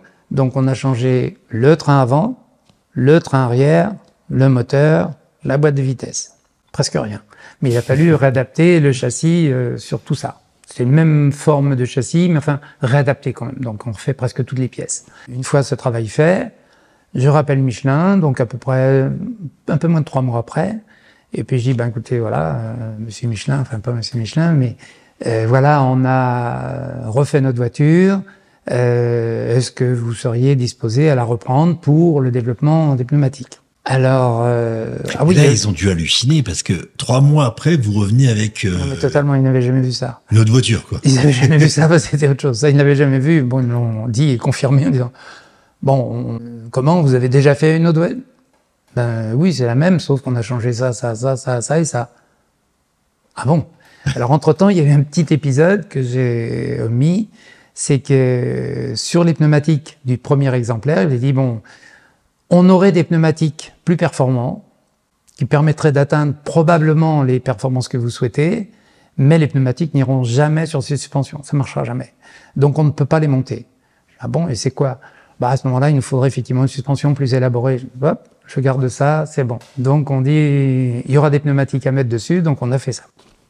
Trois mois après, ils reprennent donc la voiture, ils refont la même euh, mesure euh, torsionnelle, et ils nous disent, bon, déjà, Monsieur Poirot, premier jour, on a regardé la voiture, ben, félicitations parce que tout ce que vous avez modifié, ben, c'est tout euh, au poil. Vraiment, ça nous, on n'y croyait pas. Là, on peut monter nos fameux pneus Michelin M2X euh, qu'on n'a jamais réussi à vendre à qui que ce soit. Personne n'en voulait. Comment ça, personne n'en voulait? On l'a fait essayer à tout le monde. À Alpine, à Lotus, à Ferrari, à Porsche, euh, tout le monde l'a essayé. Personne n'en a voulu. Je dis, ah bon Il dit, bah, c'est simple. Aucune de leurs suspensions, de leur liaison au sol était capable d'absorber ce pneumatique, de le faire travailler correctement. Ah bon? Et comme tous ces gens-là sont tous, ils ont tous un beau nom. Personne n'a voulu mettre ces suspensions autour du pneumatique. Nous, on sait faire des suspensions. À vous de mettre les pneumatiques qui s'adaptent à notre voiture. Michelin dit c'est dommage, nous on a développé un pneu dont on sait qu'il est extrêmement performant, mais il faut qu'on puisse faire travailler et que les suspensions soient capables de le faire travailler correctement. Il dit sur ces suspensions-là, ça va être le cas. On va le faire travailler correctement. Bon, et maintenant on va se mettre au boulot. Entre parenthèses, sur la rigidité du châssis, vous n'avez pas besoin de bouger quoi que ce soit. Vous avez une rigidité carrément pléthorique. On est à deux fois ce qu'on a l'habitude de voir. Donc, ne touchez plus à rien. Attendez, on revient un petit peu en arrière là. En gros, ce que vous êtes en train de me dire, c'est que Michelin vous propose des pneus dont personne ne veut. Oui. Les plus grands constructeurs refusent ces pneus. Ils vous les proposent à vous. Oui. Et vous leur dites, mais euh, donc tout le monde les a refusés, mais vous les proposez, vous les proposez quoi Non, même pas. Je fais confiance totalement à Michelin, À Michelin. qui me dit, euh, mais avec des suspensions euh, normales, on est capable de les ça faire vous fait pas travailler. peur. Et euh, avec, sur cette voiture-là, ça devrait marcher. Et ça marché du premier coup. Hein, et ils ont fait ce qu'ils ont voulu. Alors, quand on dit ils font ce qu'ils veulent, ça veut dire qu'ils ils vont faire des essais de dureté de ressort, de, de flexibilité de ressort, d'amortissement, de barre anti-roulis. Bon, de façon à donner les raideurs qu'ils veulent comme ils veulent. Les géométries, évidemment, bah, les trains étaient totalement réglables en géométrie comme on voulait. Donc, ils pouvaient adapter la géométrie et ensuite les flexibilités diverses et variées. À la nuance près, c'est que quand vous avez une voiture comme une, pour pas la citer, mais une Lotus par exemple, mais ils savaient très bien le faire. Une Lotus est une voiture euh, qui n'est pas un exemple de rigidité. Mais si on, on sait bien marier la rigidité du châssis avec la rigidité des barres anti-roulis, le tout remet sur les pneumatiques, on fait, remet tout ça petit à petit avec beaucoup de mise au point, on finit par y arriver, ça marche très bien. Bon. Mais si vous avez un châssis qui est très rigide, Eh qui oui. répond très bien, et quand vous dites euh, je veux augmenter euh, la raideur en anti-roulis euh, de 5%, vous mettez une barre 5% et ça donne 5%. Parce que le châssis est tellement rigide qu'il répond à tout. Il répond à la moindre sollicitation sur un ressort, sur un amortisseur, sur une barre anti-roulis, et donc sur les pneumatiques. Donc le, le châssis qu'on leur avait donné, le châssis Venturi, a permis tout ça. Et du premier coup, ça a donné un comportement routier exemplaire dont tout le monde euh, Et c'est ce que j'allais dire, c'est que je me souviens de la presse qui disait euh, c'est mieux qu'une Porsche, euh, c'est- mieux que beaucoup de voitures de sport euh, de marque euh, premium très connues. euh. Et et, on a même- pu le mesurer nous sur le circuit d'ailleurs, on a Et en, même temps, un pied et en même temps, ils ajoutaient toujours, grâce au Michelin M2X, euh, bien servi par les Michelin M2X, toujours donc ce qui faisait le- la, la joie de Michelin, qui par la suite, puisque c'est eux qui me l'ont dit, qui par la suite ont revu tous les autres euh, constructeurs revenir, frappe toc toc toc. euh, ben vous savez, on s'est fait taper là par une voiture qui s'appelle Venturi, mais elle est équipée d'M2X. Pourquoi nous on n'en a pas? Ah non, on vous les a proposés à telle époque, vous n'avez pas voulu. Vous vous souvenez pas? On peut vous sortir les rapports parce que Michelin, c'est si, si, c'est vrai, etc. Ben écoutez, euh, voilà, si vous faites ça, ça, ça et ça et ça sur votre voiture, le M2X va la servir euh, comme chez Venturi, hein, ce qu'ils ont fait, la plupart. D'accord. Bon, et puis après, ben, Drôle. Michelin était vraiment tout souriant, en disant, ben oui, notre pneumatique, il était soi-disant pas bon, mais vous voyez, si on fait quelques aménagements sur la voiture, ça y va. Mais il faut accepter de le faire. Alors, bon, voilà. Donc c'était, pour moi, j'étais, c'était aussi une grande joie de leur renvoyer la balle de cette façon-là, quoi, de dire, bon, j'ai au moins permis à Michelin de revendre ces M2X, entre guillemets, aux autres constructeurs. Et c'est vraiment Venturi qui l'a fait. C'est pas, voilà. Donc c'était un bon pneu, très bon pneu. Nous, on en a fait une bonne utilisation grâce à eux, hein, grâce quand même à Michelin. C'est c'est vraiment eux qui, ont, qui nous ont dit bon voilà, quand il faut prendre euh, euh, un degré 15 de carrossage, c'est pas un degré euh, 0,2, c'est un 15. Euh, et comme ci et comme ça. Et la pince s'étend et voilà.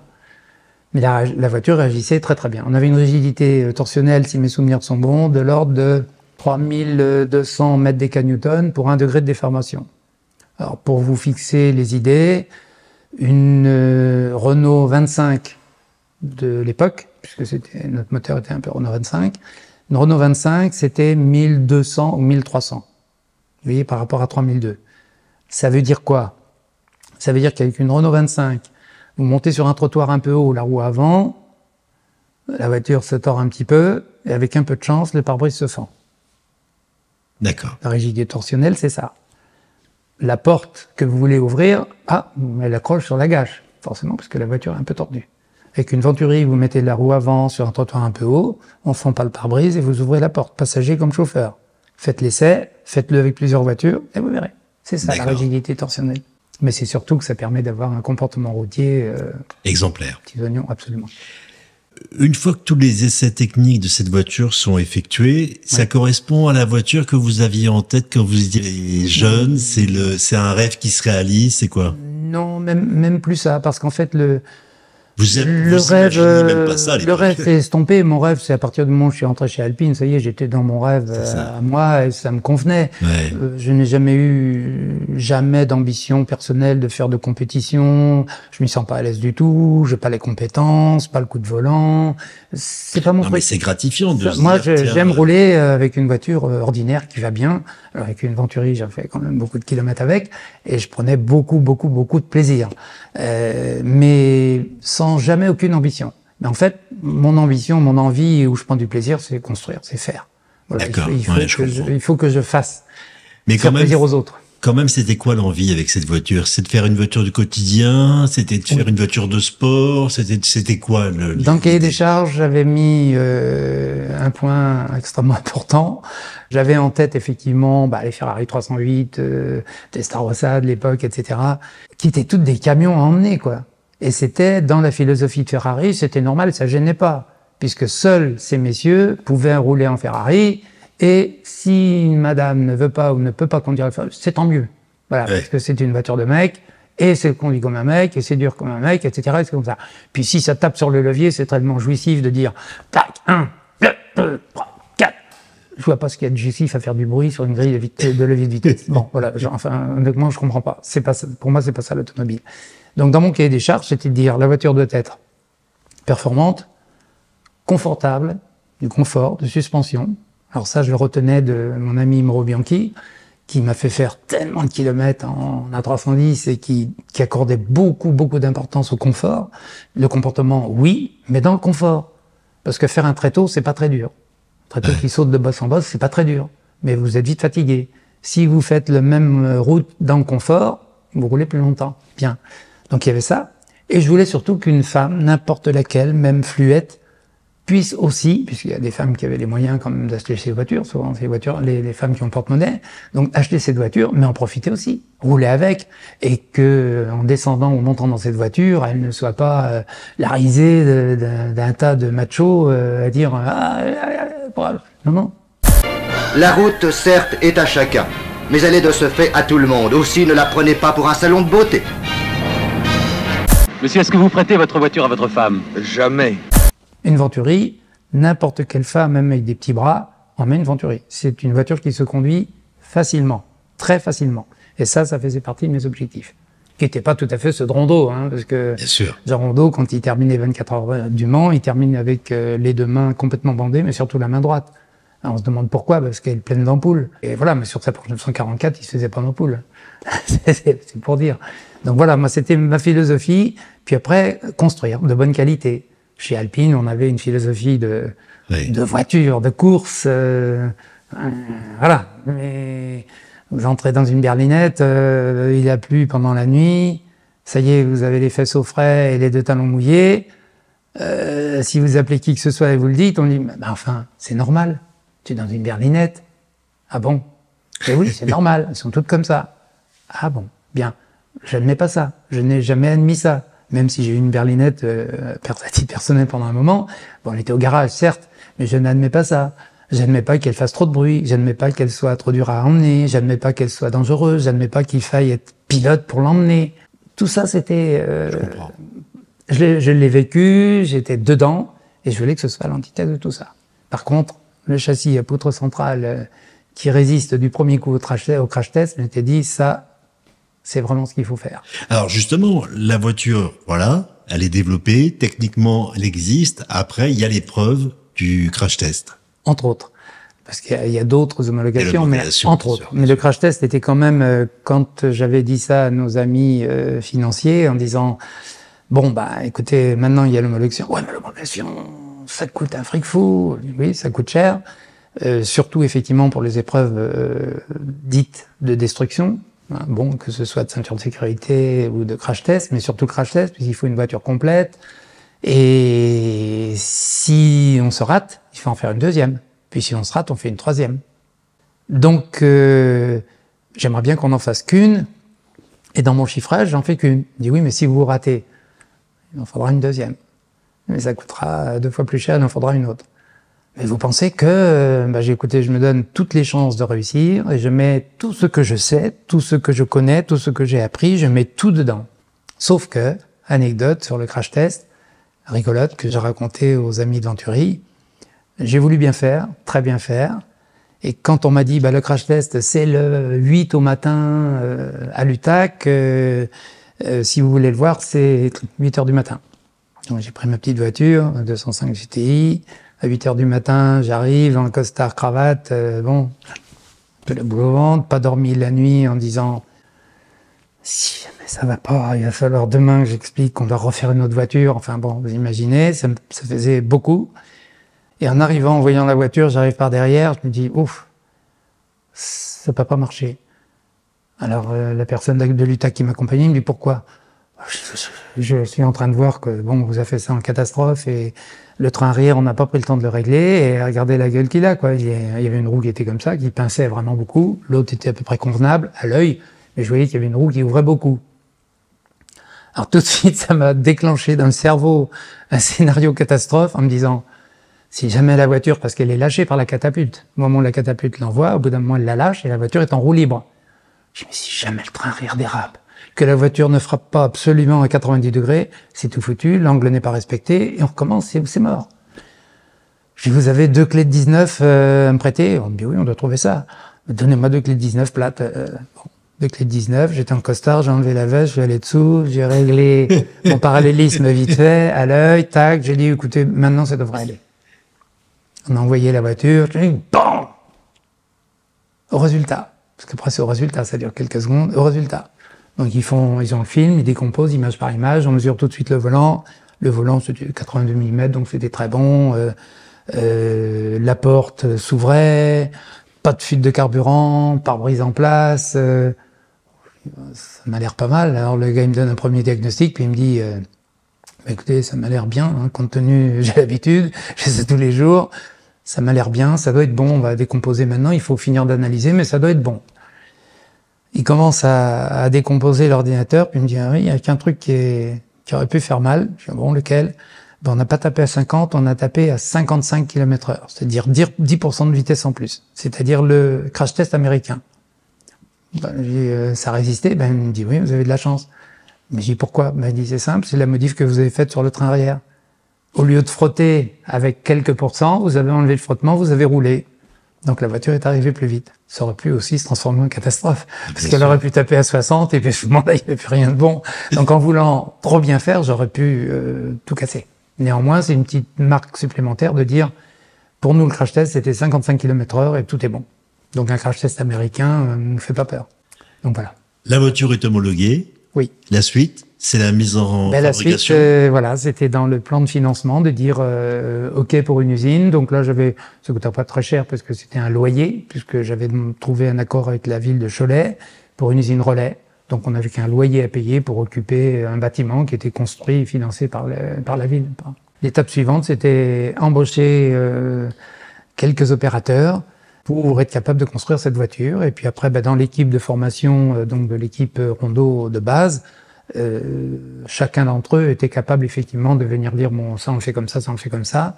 Mais j'avais quand même euh, pris un principe de base en disant cette usine d'assemblage de Cholet ne sera pas une usine de construction tout métier de la voiture.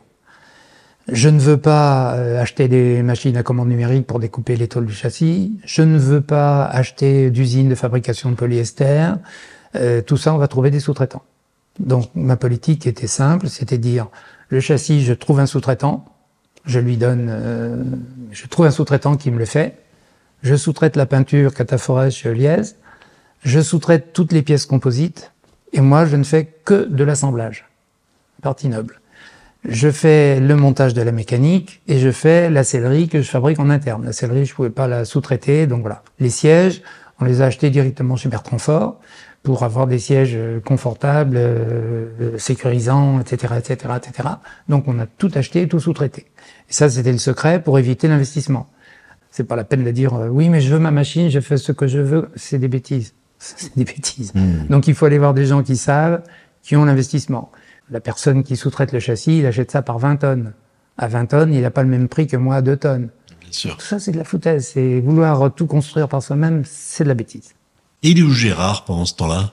Bah Gérard, il est euh, ailleurs. Il est un coup euh, chez Valin, un coup chez Manitou, un coup chez un peu chez Châtenay. Donc il, il travaille pour lui puisqu'il est indépendant. Il ne voulait pas faire partie de, il voulait pas être salarié. Il voulait garder son sa liberté, euh, sa liberté d'entreprendre, de faire ce qu'il avait envie de faire comme il, fe- qu'il voulait faire, et ne pas être pris dans un carcan. Et comme il est souvent en disant, je ne veux même pas être actionnaire de quelque chose dont je ne domine pas les tenants et les aboutissants, je sais même pas de quoi il s'agit.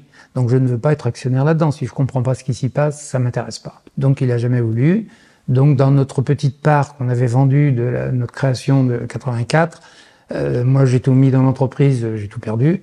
Mais, mais lui a récupéré euh, un petit peu, heureusement, et il l'a gardé, il a bien fait. Mais moi je pouvais pas faire autrement. Je pouvais pas demander à des financiers de mettre de l'argent dans cette entreprise. Me disaient, mais vous, monsieur Parot, vous mettez quoi?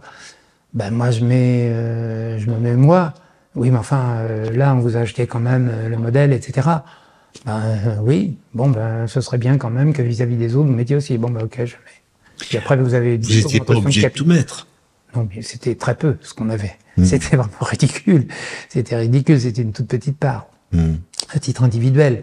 Puis très vite, vous, euh, vous augmentez le capital, euh, 1, 2, 3, 4, 5, 6, vous vous trouvez dilué, vous avez euh, 0,5 du capital, qui est pas grand-chose. Puis après, si ça tombe euh, en désuétude, ben, vous avez 0% de rien. Donc ça fait pas grand-chose. Qu'est-ce qu'on se dit à ce moment-là? On se dit euh, tout ça pour ça? Non, Non Pas, pas du tout. Ah non, non, jamais découragé. euh, non, non, toujours. Moi, j'étais bon, j'étais salarié puisque j'avais tout mis. Donc mais attendez, il faut quand même que je nourrisse ma famille. Hein, il faut quand même. Je fais un boulot, ce boulot doit être rémunéré. Donc Bien euh, sûr, voilà. oui, vous êtes bon, ben, vous chargé êtes par- euh, directeur général, euh, vous êtes euh, si, vous êtes euh, directeur technique, vous avez une paye en conséquence et puis point à la ligne.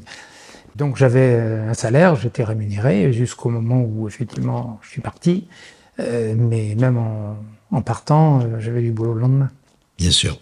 Donc euh, les premières voitures sont fabriquées. Oui. Euh, les premiers propriétaires vont être euh, livrés, j'imagine. Oui. Tout se passe bien? Toujours. Avec quelques petites anecdotes rigolotes, parce qu'il y avait toujours un petit truc qui n'allait pas complètement, un petit truc qui n'était pas complètement au point, quelque chose qu'on n'avait pas vu, un, un détail qu'on n'avait pas vu, qu'on n'avait pas été... La voiture avait de telles accélérations latérales compte tenu de ses pneumatiques, parce qu'avec des pneus glissants, bah vous glissez, vous glissez. Il y a, a pas de, a pas de résistance, donc il y a pas d'accélération, vous ne sentez pas l'accélération. Quand les pneus ont un bon grip, bah, vous êtes en appui, ça fait des forces latérales importantes. Et ces forces latérales importantes, au niveau des G, de l'accélération, le moteur, qui est quand même un engin assez lourd avec sa boîte de vitesse, en accélération latérale forte, en virage serré, le moteur se déplaçait latéralement jusqu'à déboîter une transmission. D'accord. Donc même. ça, ça nous était jamais arrivé dans les prototypes, euh, même pas chez Michelin, ça nous était pas arrivé, parce que chez Michelin, quand ils font leurs essais, euh, les voitures sont toujours en dérive partout à droite Bah à gauche, oui, etc. bien sûr. Mais nous, quand on faisait nos petits essais euh, ici dans les routes de montagne, il y a beaucoup de petites routes qui sont délacées. La première voiture livrée à Monsieur Bachelet, euh, donc qui était qui voulait absolument la numéro un. Donc euh, Monsieur Bachelet, c'est l'anecdote euh, rigolote mais importante. Il part en vacances comme il allait tous les ans en Suisse. Pour pas s'ennuyer, il achetait, il passait dans un kiosque à journaux, il achetait deux, trois, quatre, cinq journaux d'automobile. Ce jour-là, dans ce kiosque-là, il y avait l'autojournal qui parlait de Venturi. Et il a lu ça, il a avalé ça pendant en étant en congé en Suisse, et il donne un coup de fil à Madame Poirot qui tenait le téléphone, et puis dit je suis Monsieur Bachelet. Alors, le chanteur, comme on avait eu déjà deux ou trois autres, non, non, je suis pas le chanteur, je suis euh, constructeur euh, de bâtiments, je suis en vacances à un tel endroit, je veux une venturie. Oui, monsieur, mais je veux la numéro un, euh, je veux ci, je veux ça, quand est-ce que je peux passer vous voir? J'ai essayé, je suis tombé sur un fou, bon. je, bah, elle prend rendez-vous quand même, et il est passé nous voir, commander sa voiture, etc., etc. Donc, petite cérémonie pour lui livrer sa voiture quand la voiture était terminée. Puis on va faire le tour d'essai, parce que toujours terminé, dernière heure, euh, bien sûr. On va faire le petit essai, l'essayeur emmène la voiture. Puis d'un coup, il me donne un coup de fil, il me dit, Claude, euh, j'ai un arbre de transmission qui est déboîté. Il savait pas si c'était déboîté ou cassé. Mais je suis en panne. C'est pas grave. Je t'envoie quelqu'un. On va chercher. Le client était là, que Bachelet était là. On avait bu déjà une bouteille de champagne à 3 ou 4, enfin peu importe. Donc il reste plus qu'à boire une autre bouteille. Euh, mais la voiture, c'est non, non, mais elle arrive. On a, bon, je crois, une petite bricole. Enfin, ça arrive. On a fait traîner une heure, puis deux heures. La voiture est revenue à l'atelier. On a remis notre arbre de transmission. On a vu qu'il était seulement déboîté. Ça n'avait rien abîmé, rien. D'accord. On a enlevé l'arbre, on a remonté un vite fait, tac, et on dit ça y est, c'est fini. Et puis ça marche, vous pouvez partir avec la voiture. Alors en se disant bon, ça nous est arrivé à nous, ça peut peut-être arriver au client. Il faut quand même qu'on regarde. Donc on a reproduit le, le défaut on s'est aperçu qu'effectivement le moteur euh, se déplaçait latéralement. Puis là, on l'a mis un peu, une petite biellette de sécurité euh, limitant le débattement latéral. Pof, été clos. On a eu comme ça un ou deux petits incidents, mais quand on avait ça, on rectifiait aussitôt. Et s'il y avait eu trois voitures avant, on rectifiait les trois voitures avant. S'il y en avait dix, on rectifiait les dix. On n'a jamais laissé partir les voitures dans la nature. Donc voilà, des petites anecdotes comme ça, il y en a plein qui font rire les gens. Euh, après, c'était, je sais pas quoi, la durite supérieure qui, qui éclatait. Bon, elle était pas assez forte, donc on remplaçait la durite supérieure. Bon, enfin, bon bref, c'est normal. On n'avait pas de pré-série. Hein. C'était notre série, c'était la pré-série. Euh, voilà. Donc on en a fait comme ça une, puis deux, puis quatre, et, huit, et dix. Et, et la deuxième année, on en a fait 187 pour un objectif de 200. C'était pas si mal. C'était pas si mal. Alors, anecdote euh, amusante, Claude, une fois que la voiture va être en début de fabrication, vous allez retourner voir vos potes d'Alpine avec la voiture, avec l'aventurier. Oui, à leur demande. Mon ancien patron, notamment Jean-Pierre Limondin, m'avait demandé en disant écoute Claude quand tu auras une voiture à nous présenter euh, ça nous ferait vraiment plaisir euh, de voir ta voiture si tu pouvais venir à Dieppe on organiserait un tout petit groupe sympathique pour voir je suis le bienvenu naturellement, bon, alors, donc euh, c'était la première fois que je retournais ensuite euh, voir tout ça. Donc ils avaient organisé un tout petit comité entre euh, bah, Alain Serpaggi, donc le pilote, Michel Lorigoleur, qui était un ami proche, très proche, qui était responsable du contrôle qualité chez Alpine, Jean-Pierre Limondin, mon ancien patron, plus les quelques nouveaux que je ne connaissais pas, du bureau d'études, des prototypes, enfin bref, des gens, des connaisseurs, mais en tout petit comité. Donc je prends une voiture, je leur emmène la voiture à Dieppe. Il était convenu effectivement, de toute façon, voilà la voiture, voilà les clés. Alain euh, me dit, roulez, elle roule, c'est pas, c'est pas, pas un fantôme, ça roule. Donc il est allé faire un tour, il est revenu, bon, euh, ok, ça va bon, c'est bien, bon, pas plus de commentaires, mais enfin, mettons-nous aussi à sa place, à l'époque, au moment, il peut pas dire c'est la voiture la plus extraordinaire que j'ai il peut pas dire ça, on s'attend pas à ça. Ok, il est satisfait, il m'a pas dit euh, non, non, il n'y a pas de remarque, c'est bien, ça roule. Puis après, la voiture était donc euh, ouverte à tout vent, hein, avec ce petit groupe, peut-être, peut-être au total, on était peut-être 7, 8, 10, je sais pas. Ouvrir les capots, les scies, les machins, ouvrir les portes, euh, regarder, table de bord, tourner le volant, s'asseoir, remettre les sièges, bref, décortiquer comme le font tous les gens quand on regarde la concurrence. Et la conclusion vient alors. Et puis il y en a un qui se hasarde, je ne sais plus qui, je me rappelle plus, et qui résume comme ça en disant finalement, pourquoi faire simple quand on peut faire compliqué? Se rapportant à eux, à leur méthode alpine. Ouais, vous voulez dire pourquoi faire compliqué quand on peut faire simple surtout? Ah voilà. Et donc ils avaient les moyens. On laisse les gens des études s'engouffrer dans certaines solutions plus compliquées parce qu'ils n'ont pas la contrainte de chercher le simple. Quand on n'a pas d'argent, il faut chercher des solutions simples. Système D. Hein. Et nous, ça a été notre richesse. Bien sûr. De dire, on a, on n'a jamais les moyens de développer un catalyseur. La solution simple, quand il sait à dire, euh, j'ai besoin d'un catalyseur vis-à-vis de la réglementation, c'est normal. Mais ce catalyseur, je dois le trouver. Quel est celui qui correspond longueur, diamètre, euh, puissance, etc. C'est celui d'une Porsche. Eh bien, je dois discuter avec Porsche pour savoir à quel moment ils sont capables de me le céder. Et ils m'ont cédé leur catalyseur. Je précise que vous avez débarqué à Dieppe chez Alpine au moment en plus où ils sortent la 610. Oui. Qui est pas tellement bien accueilli, hein, par, aussi bien par la presse que par le public d'ailleurs. Oui, c'est c'est un peu dommage parce que moi je considère que c'est effectivement une, une bonne voiture. Euh, y a- Finalement, l'aventure, la bonne 610, ça aurait été l'aventurie, non? C'est euh, oui peut-être. Non, je sais pas, mais enfin, on avait vraiment des, des principes quand même de conception euh, différents. La 310 avait des bons principes de conception qui étaient encore ceux de la 110, donc les principes alpines, que moi j'ai rapportés chez Venturi Bien sûr. avec l'expérience de la carrosserie Eliès. Hein, C'est-à-dire en fait, Venturi c'est un, un condensé du meilleur d'Alpine et du meilleur de Liège Exactement, c'est ce que j'allais dire. le savoir-faire de conception alpine et le savoir-faire de carrossier euh, chez Elias. Chez on savait faire une carrosserie, on savait faire une étanchéité, traiter une articulation de porte, un bruit, etc., etc. Bien sûr. Donc j'ai appliqué tout ça et ça a donné Venturi. Euh, pour la 610 qui était traitée en bruit, là c'était déjà euh, les concepts Renault, les obligations Renault, le contrôle Renault, les euh, voilà c'est différent. Mais pour Venturi, non, j'avais pas tout ça. C'était uniquement un condensé de.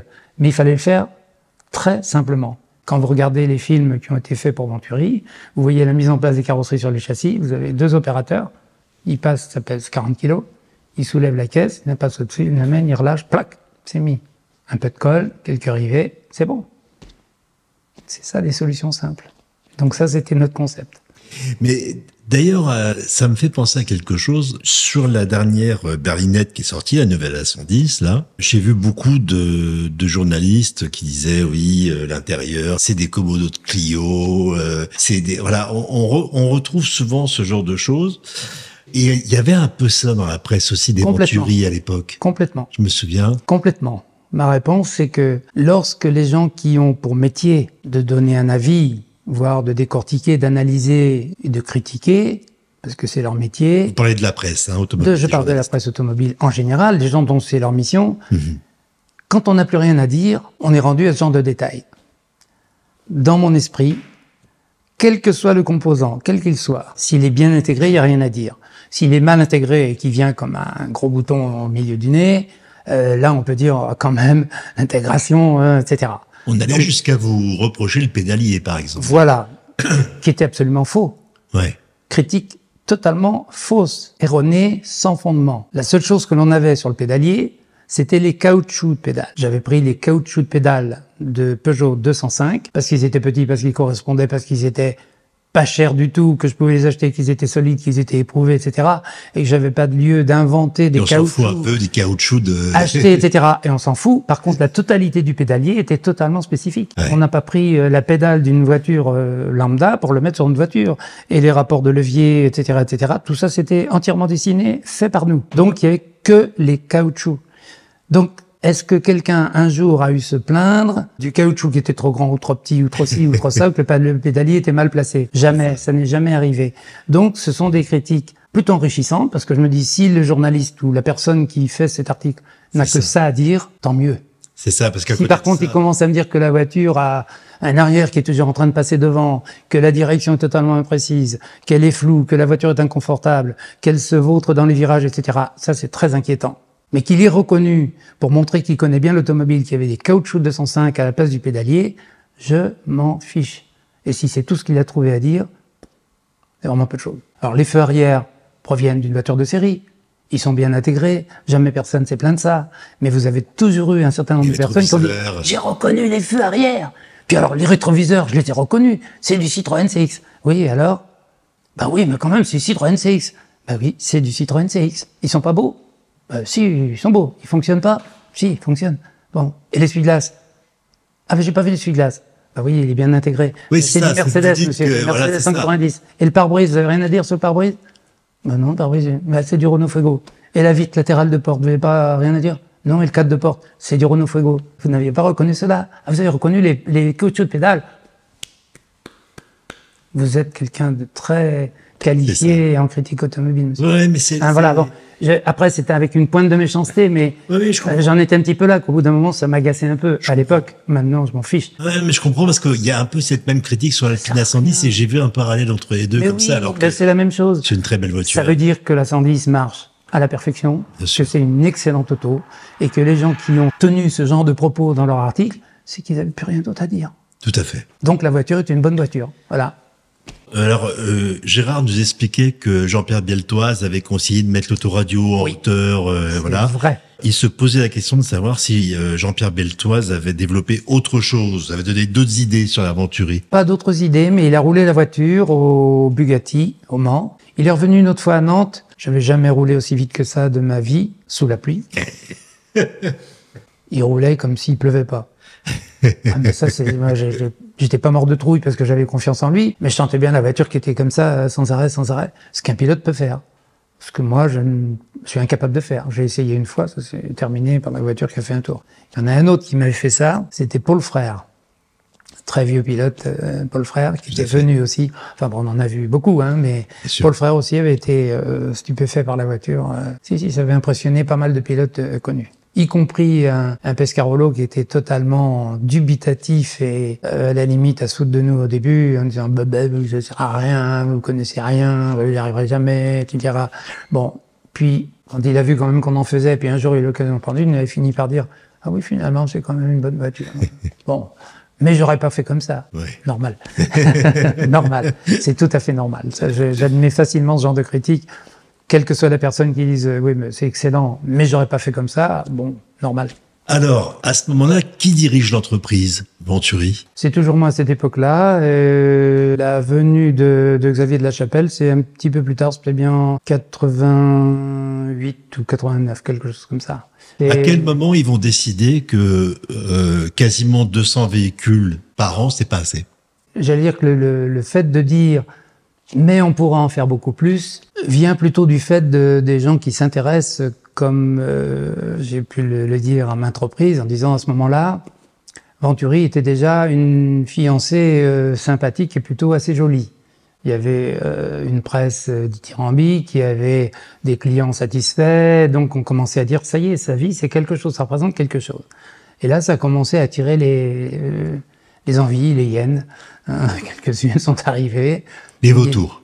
Les vautours aussi, en même temps, enfin toute une meute de d'envieux qui se sont dit et voilà. Donc là, on a commencé à voir effectivement les visites de bah, de la Chapelle, euh, qui est son copain euh, Monsieur Lecou, euh, etc., etc., qui sont venus comme ça. Euh, ah oui, c'est bien. Ah oui, on peut visiter. Oui, on peut visiter. Oui, bon, je suis quelqu'un de gentil. euh, oui, on peut visiter. Oui, pourquoi pas. Un peu fier aussi de dire bon, ben regardez ce qu'on a fait, c'est bien.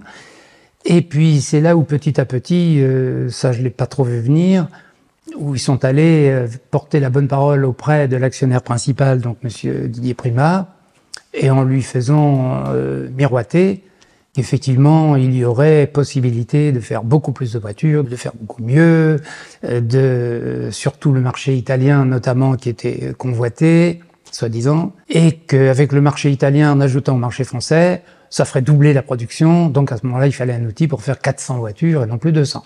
Et que dans le même temps, euh, puisqu'on allait avoir des, des acheteurs et des concessionnaires et des distributeurs prestigieux, les faire venir à Cholet, c'était un peu ridicule et les faire descendre dans le fin fond du bocage. C'était euh, Oui, ce que vous dites, c'est qu'ils ont réussi à persuader l'actionnaire qu'il faut partir de Cholet et avoir une nouvelle usine près de Nantes. C'est ça. Il faut tout refaire et dans d'autres conditions. Euh, je m'oppose à, tous ces choix. J'essaie de faire euh, valoir ma façon de voir les choses et de dire non, vous vous trompez, euh, ce sera pas mieux, il faudra tout recommencer. Et, et là, on n'est pas prêt et ça n'en vaut pas la peine. On est presque au bout du but d'atteindre ce qu'on avait fixé et c'est faisable même de doubler la capacité, on sait le faire. Amener d'abord les contrats de vente, les contrats de distribution, puis ensuite on verra sur le plan technique, mais on va s'adapter. Et ma voix ne porte pas assez parce que le, cette euh, nouvelle façon de voir les choses a déjà été instillée dans la tête de l'actionnaire principal euh, bah, qui a cru, qui a cru aux balivernes euh, sûrement beaucoup plus importantes que celles que je vous livre ici. Et il se dit, bah oui, pourquoi pas. Un conseil d'administration euh, suivant avec les actionnaires.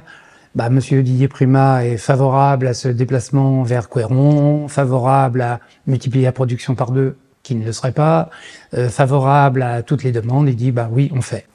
Et à ce moment-là, on nomme Monsieur Xavier de la Chapelle président de l'entreprise en même temps du même coup. Moi, ça me gêne pas plus que ça. Directeur technique, ça me suffit amplement. Si on me donne les moyens de travailler, je suis un homme heureux.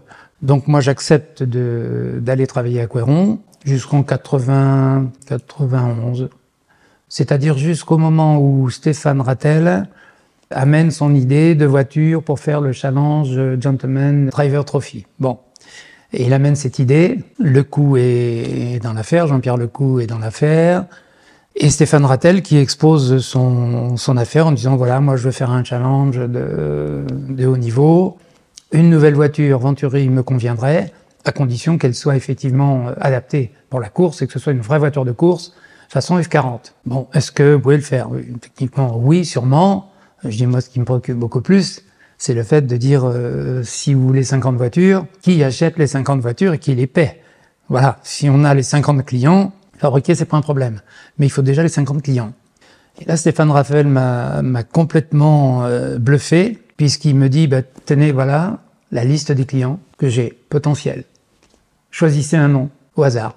Donc il y avait un peu de, plusieurs nationalités. Choisis au hasard. Tac, j'en prends un au hasard. Celui-ci.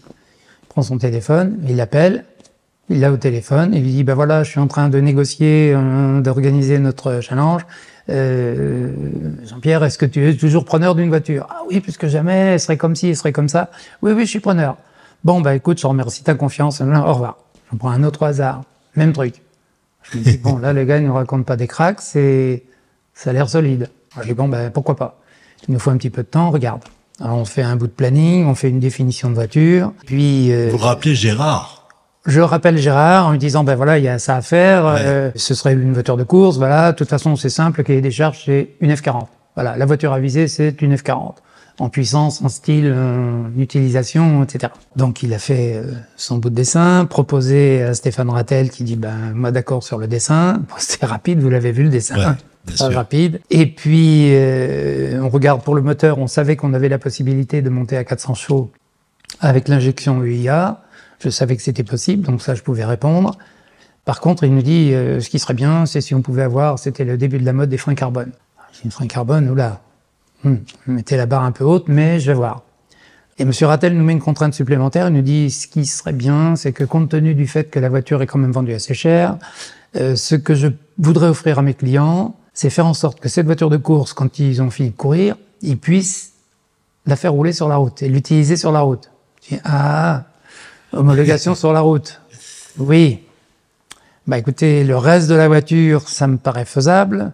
Par contre, pour les freins, un frein carbone, euh, faible vitesse, ça marche pas. Il marche que quand il est chaud. Bon, donc il faut trouver une solution. Donc on a rajouté un autre petit frein à l'époque, qui était le frein, frein pour le frein à main, au moins pour le frein à main, parce que frein à main sur un frein carbone, euh, vous arrêtez rien. On serre à fond et vous poussez, ça glisse. Donc on a rajouté des petites plaquettes normales et on a réussi à faire marcher le, tout, euh, bon, comme il fallait, et homologation sur la route, ce qui était un truc considérable. Incroyable. Donc on a été les premiers en Europe, peut-être bien dans le monde, à faire rouler une voiture sur la route par un client lambda avec des freins carbone. Incroyable. Bon, il y a beaucoup de gens sûrement qui se sont fait des petites chaleurs parce que très honnêtement, pour les petites vitesses 30 à l'heure, 40 à l'heure, vous appuyez sur la pédale, il se passe pas grand chose. Donc il fallait quand même être prudent. Mais on a quand même été les premiers à le faire et à le faire homologuer. On parle de la 400 en fait. De la 400. Il fallait faire, bien entendu, là aussi, pour construire les voitures, c'est facile. Quand vous avez la main d'œuvre, les gens habitués, etc., l'outillage et tout ce qu'il faut, facile. Donc il a fallu que je fasse une nomenclature très rapide et de lancer tout ça. Plus naturellement, au préalable, faire une première coque échelle 1 qui soit capable d'être présentée au client, parce que c'était ça le challenge. Il fallait pouvoir présenter à telle date, alors ça se passait en Suisse, à l'hôtel Badrout, à Saint-Moritz, recevoir ces messieurs du monde entier, faire la grande réception et dire voilà la voiture que vous allez avoir, la voilà. Il y a pas mal de photos un peu partout de cette voiture. On doit la retrouver dans le petit livre ici, qui est en fait juste une maquette. Il y a eu toute l'équipe normale, euh, Christophe Beer, euh, Gérard Godefroy, bien sûr, qui est venu faire le modelage, et les gens que je connaissais, qui ont fait ça très bien, très vite, comme d'habitude. Et y compris pendant cette période, qui était quand même très tendue, où Monsieur Rattel me disait, euh, Claude, est-ce que la voiture sera prête? Oui, Monsieur Rattel. Oui, mais enfin, il y a beaucoup de gens qui doutent. J'ai comment ça, des gens qui doutent Ah ben, j'ai Jean-Pierre Lecou qui m'a dit que tu t'en sortirais jamais, que c'est pas possible, tu allais te casser la figure, et, et moi ça m'inquiète. euh, Qu'est-ce qui va se passer? Dis, Moi, je te dis qu'elle sera prête. J'ai pour habitude de respecter mes engagements. Et le jour dit, à l'heure dite, on a amené la voiture à Saint-Maurice, donc un camion spécial. La voiture était peinte, décorée et tout. Elle est rentrée juste par la porte, enfin par une fenêtre, parce qu'il n'y avait pas de porte assez grande. Donc est rentrée par une fenêtre. Enfin bref, ils ont réussi à rentrer, je sais pas trop comment. Rentrée, mise dans le salon, exposée. Là, Stéphane Rattel m'a dit, mais j'y croyais pas, mais bravo, là tu me sauves la mise et tout. Je ne sauve pas la mise. C'est promis pour cette date, elle est pour cette date, point. Anecdote en passant, il nous avait, il m'avait dit bon bah écoute, euh, comme j'imagine que tu n'auras pas trop le temps, viens pour la réception. Il faut absolument que les clients euh, te connaissent, sachent que tu puisses aussi leur présenter la voiture, etc., etc. Je dis oui, mais j'ai pas trop le temps à prendre une voiture. Il dit, non, non, t'inquiète pas. J'ai euh, trois autres clients ramenés.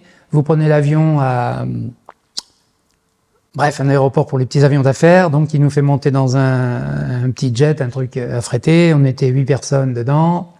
Le pilote euh, s'est posé très proprement sur les roues avant de l'avion, ce qui n'a pas marché.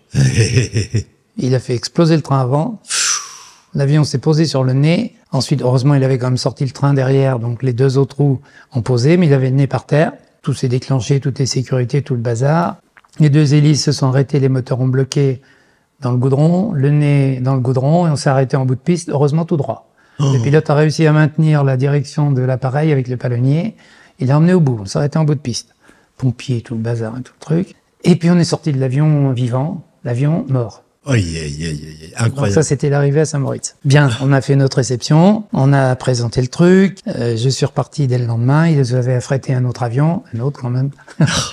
Mais les deux ou trois personnes qui étaient dans l'avion, qui n'étaient pas, pas des personnes modestes, on va dire ça comme ça, avaient vraiment euh, fait la leçon. Il n'était pas question de remonter dans un turboprop qui était soi-disant un véritable cercueil, qui voulait absolument un pilote comme ça, etc. Alors là, on avait euh, le pilote, le copilote, euh, une hôtesse, le champagne, euh, les biscuits, il y avait tout ce qu'il fallait à bord pour faire un bon voyage de retour. Et on a fait un bon voyage de retour. Alors cette série de voitures s'est faite. Moi, ça a été mon dernier, oui, ça a été mon dernier travail euh, pour euh, Venturi. Alors expliquez. Qu'est-ce qui fait que vous décidez de partir? Parce que à un moment donné, Jean-Pierre Lecou euh, décide de, par, enfin, rêve de l'aventure de Formule 1. Oui.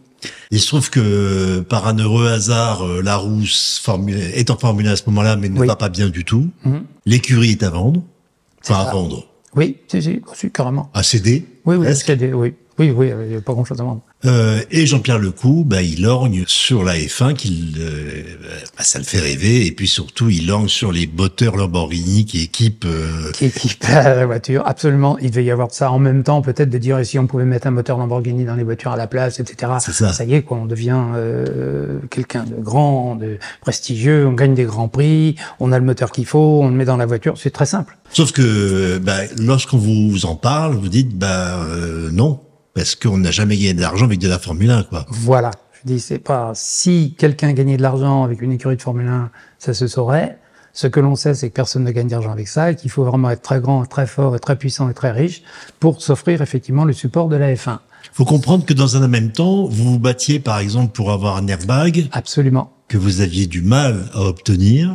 Et puis il y a des investissements incroyables qui partent Voilà. en Formule 1. Dans le même côté. temps, techniquement, puisque j'étais directeur technique à l'époque, ben, effectivement, je demandais de l'argent pour le développement d'un airbag. Et un airbag à l'époque, il fallait déjà pour les, les essais, pour les homologations, c'était l'équivalent de 5 à 6 voitures à casser pour réussir à dire bon, voilà, c'est validé sur cette voiture, euh, le volant, les côtés, etc. Ouais. 5 à 6 voitures, ce qui était énorme.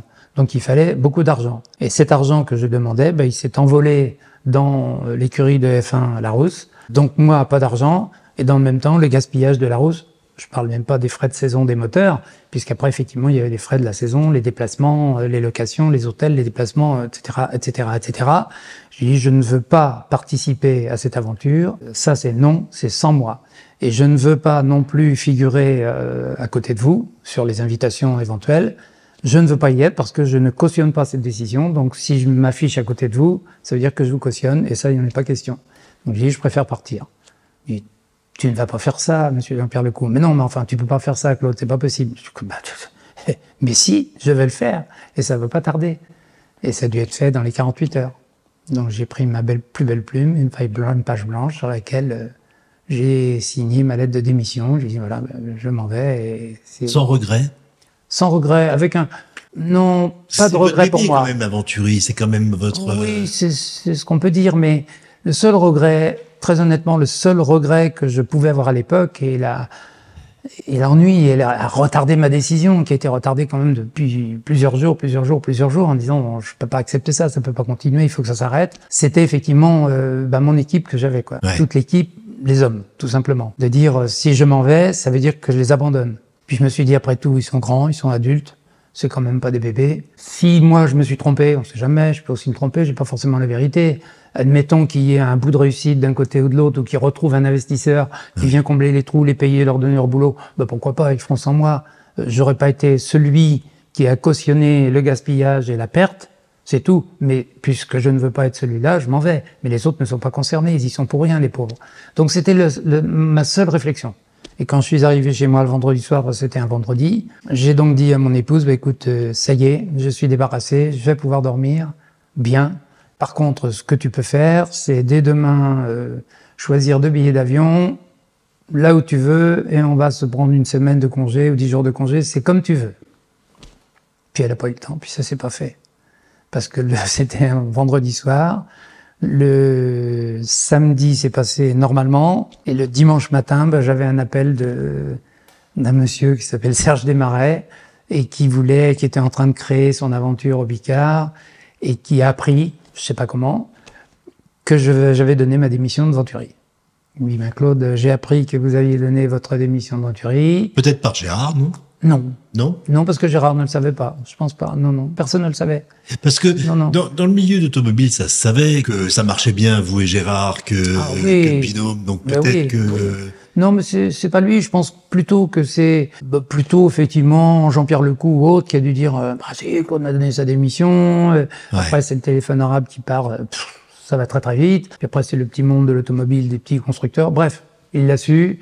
Il m'a dit, ben écoutez, la seule contrainte pour moi, c'est que on a besoin d'aller vite. Et si vous pouviez être à la Grande Armée euh, dès lundi matin, j'ai dit oui. Et puis je suis allé voir la Grande Armée, donc on n'a pas eu les 10 jours de congé.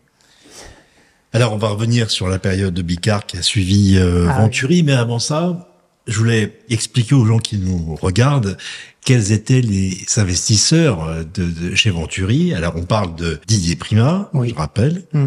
Héritier de la famille Schlumberger, des pétroles euh, Schlumberger. Oui.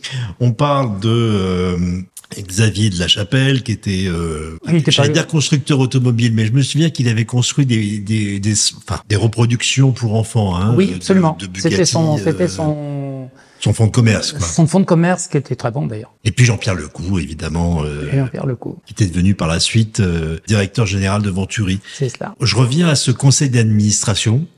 Comment peser face à Jean-Pierre Lecoux et Xavier de la Chapelle quand on est euh, directeur euh, de production, etc. Ah bah devant Didier Prima, quoi. On Je veux dire, pèse, on pèse pas beaucoup, Ouais. forcément, d'autant plus que dans les actionnaires, il y avait Didier Prima, actionnaire principal, mais il y avait d'autres personnes, il y avait au moins trois autres actionnaires qui n'étaient pas ni le coup ni de la chapelle ni rien du tout, qui eux, n'étaient pas actionnaires du tout parce qu'ils n'avaient rien. salariés, Bon, enfin. Ils étaient juste là. euh, bon. Mais les autres actionnaires, donc qui eux avaient de l'argent réellement, avaient l'habitude, pour habitude, de suivre Didier Prima dans d'autres affaires. Donc là, si Didier Prima leur donnait euh, le là et en disant euh, bah moi oui je préfère cette solution. Ah ben oui Didier oui vous avez raison. On n'était pas dans des conseils d'admission à dire non mais attendez nous on pense que euh, si Monsieur Poirot a dit non c'est peut-être non non. Ils étaient plutôt Monsieur Prima donne une direction on suit dans sa direction. Parce que Monsieur Poirot il n'a pas d'argent Monsieur Lecou il n'a pas d'argent. Mais Monsieur Prima pense que les solutions évoquées par Monsieur Lecou et Monsieur de la Chapelle en l'occurrence sont faisables et sont celles qui lui plaisent et comme c'est lui qui paye euh, pourquoi pas? Voilà, donc là, moi, je pèse rien. Alors qu'il paye, oui, mais jusqu'à temps que Françoise Schlumberger, la mère de Didier Prima, avait bien payé. Et voilà. Enfin, C'est-à-dire, elle avait une, une autre contrainte, qui était vis-à-vis effectivement de son fils en disant on ne va pas dans la course automobile, on ne doit pas avoir notre nom dans la course automobile, qui est un milieu très spécifique, et on ne veut pas y aller, et on ne veut pas vous y voir. Et là, manque de chance, la presse euh, racontant à tout va que Gérard Larousse euh, avait réussi à retrouver l'argent pour remettre la tête hors de l'eau grâce à un investisseur, M. Didier Prima, pan, le nom était lâché. Là, retour de bâton et euh, Didier, euh, non, pas question. Et c'est ce qui finalement, c'est un petit peu ce qui a signé cette euh, aventure en, en, Formule 1, ce qui a scellé l'avenir de. À très grande partie, puisqu'effectivement, à partir de ce moment-là, ben, si vous enlevez les actionnaires principaux, les deux autres ou trois autres prennent peur et disent bon, si Didier s'arrête, on va pas tout perdre. On s'arrête là, on enlève nos billes et, et, basta. Et là, à partir de ce moment-là, ben, ça a été vendu un Thaïlandais, ça a été revendu à je ne sais qui encore. Enfin, il y a eu au moins deux ou trois euh, changements de pouvoir, mais là, j'étais déjà plus là depuis un moment. Jusqu'au propriétaire actuel, Gilles de Pastor. Il y a euh, eu Monsieur aussi Onel qui a fait des bonnes choses et qui a permis à la version 300 redessinée par Gérard aussi, qui est très belle, qui est vraiment très belle, et qui était la, la version numéro 2 on va dire, de Venturi. Euh, mais ça, c'est Monsieur Honel qui a mis tout son argent là-dedans. Le pauvre, il a tout perdu, il est obligé de lâcher prise et aussi de tout laisser. Jusqu'à la vente à la barre du tribunal, on va dire, euh, est racheté par Monsieur Pastor euh, à Monaco, qui, euh, bah, qui a fait de Venturi tout autre chose. Voilà. Bon, il en fait ce qu'il veut. Quand il est propriétaire de la marque, il fait ce qu'il veut. Qu'est-ce qui n'a pas fonctionné dans la 300 avec Monsieur Honel? Ben, C'est qu'il n'y avait pas plus de clients. La voiture était très bien. Euh, encore mieux que les, versions 200 hein, ou 260. Beaucoup mieux, plein d'atouts. Mais commercialement, il fallait la vendre. Et je pense que pour une marque comme Venturi naissante, si vous avez des trop d'accros dans le parcours, c'est-à-dire un premier changement de propriétaire, un deuxième changement de propriétaire, un troisième changement de propriétaire, celui qui va investir euh, son argent de poche dans une voiture de ce niveau-là, il veut quand même un minimum de certitude, il veut quand même savoir que sa voiture va continuer de, d'exister, de la faire entretenir, qu'il pourra avoir les pièces, bref, que la marque va continuer. Et en voyant tous ces changements, ça fait perdre complètement confiance des acheteurs qui se sont débinés. Il y en a eu très peu de vendus, pas assez en tout cas pour faire euh, retenir, c'est tout. Ça, c'est, c'est mort de la, la, plus belle mort. Euh, je veux dire, quand vous avez plus de clients, vous n'avez plus de clients. Alors, on va quitter l'aventure Venturi pour euh, suivre la suite de votre parcours chez Omicard, mais avant ça, j'ai une petite vidéo à vous montrer. Je voulais que vous la regardiez. Allez-y. Je vous laisse faire. Bonjour Claude. J'ai appris que tu faisais une, interview euh, qui ressemblait un peu à la mienne, euh, et je voulais te dire de ne pas oublier une chose très importante. Tu vois une photo ici, on te reconnaît. Ah oui. Il y en a une autre ici où tu es aussi. Ah oui. Celle-ci. Formidable. Et dans celle-ci, tu as un des outils principaux de la réalisation d'une voiture. tu as dans la main une balayette. Et quand on quand on sculpte une voiture en mousse de polyuréthane, on n'imagine pas la poussière que ça fait. Absolument. Donc la balayette est vraiment indispensable. Et la photo a, été prise par moi, évidemment. C'est pas moi, je suis jamais sur les photos parce que c'est toujours moi qui prends la photo. Donc, euh, il n'y avait pas de selfie à l'époque. Hein, non, puis il y a toi qui savais faire. Et là, on te voit avec la balayette à la main. Tu attends que je prenne la photo. Et il y en a une autre aussi. Voilà, c'est la vue arrière, où tu es aussi en photo. On reconnaît bien les feux rouges de l'aventurie, sauf que c'est un coup de peinture sur la mousse. Donc, c'est pas pareil ça fait pas le même effet de transparence. Et alors, à propos de cette euh, vue avant, je voulais te présenter mes excuses, 40 ans après. Parce que 40 ans après, bah, je, je me suis toujours pas excusé auprès de toi pour t'avoir créé une émotion, je dirais, angoissante, parce que je t'ai dit, la partie centrale pour l'entrée d'air, on va pas les laisser comme ça, on va l'élargir. Évidemment, je comprends ton désarroi parce que le temps tourne tel que la voiture était là. Ça, pour les gens qui ne savent pas, c'est pas une voiture vraie, réelle, c'est la mousse de polyuréthane qu'on a vue tout à l'heure et qui a été enduite. Donc c'est un boulot énorme de rechanger l'extrémité. C'est pas rien. Mais tu as compris par la suite que ça valait le coup parce que c'est devenu finalement cette bouche très fine en hauteur et très large. C'est devenu, euh, je dirais, la physionomie de toutes les Venturi. C'était l'image de marque. Et on la retrouve sur la 200, la 300, la 400, sur toutes les Venturi à moteur thermique. Bien sûr. Alors, euh, je suis désolé de ne pas avoir euh, été aussi performant et de ne pas faire du premier coup la bonne entrée d'air. Oui, c'était pas pour une fois. Mais on peut dire que ça s'est quand même bien passé. Oui. Eh bien, à bientôt, Claude. On va se voir au Club Venturi, bientôt. Oui. oui. Ça va être encore un grand moment avec bon. des nouveaux arrivants dans le club. Bien sûr. Euh, je pense qu'on va avoir beaucoup de choses à raconter. Il va falloir affûter les stylos pour euh, signer les châssis. Ah, hein. ça, ça, nous est déjà arrivé, ça. Et puis, euh, on va passer un bon moment, c'est certain. Comme à chaque fois. J'en doute pas. Salut Claude. Salut. Formidable. Merci, beau cadeau. ça m'étonne pas de lui. On arrive donc à la fin de l'aventure Venturi et vous allez retrouver votre euh, votre pote Gérard oui. chez Obicar. C'est ça une nouvelle aventure au Bicard, donc une aventure euh, brève puisque ça n'a pas duré très longtemps malheureusement, mais mais quand même on a fait là aussi des prouesses techniques. Euh, oui, que je pourrais qualifier d'invraisemblable parce que. Bah oui, parce qu'on parle d'un véhicule amphibie déjà. Absolument. Et moi, je Alors... considère que le, le, devoir a été bien plus difficile qu'aventuré. Honnêtement, ce qu'on a fait. À cause des contraintes techniques. Ah oui, oui. Ce qu'on ouais. a sorti pour avec la même équipe, hein, c'était la même même équipe, euh, les anciennement Jean Rondeau. Ça a été la même équipe mise à contribution. On avait une équipe qui marchait bien, qui était rodée. Alors on, on s'en est sorti, je crois, parce que justement on se connaissait bien, on était habitués tous à des, des challenges euh, impossibles à tenir, mais envie de le faire quand même, tous, pareil disant ben justement parce que tout le monde nous dit que c'est pas possible, hum, on va bien y arriver.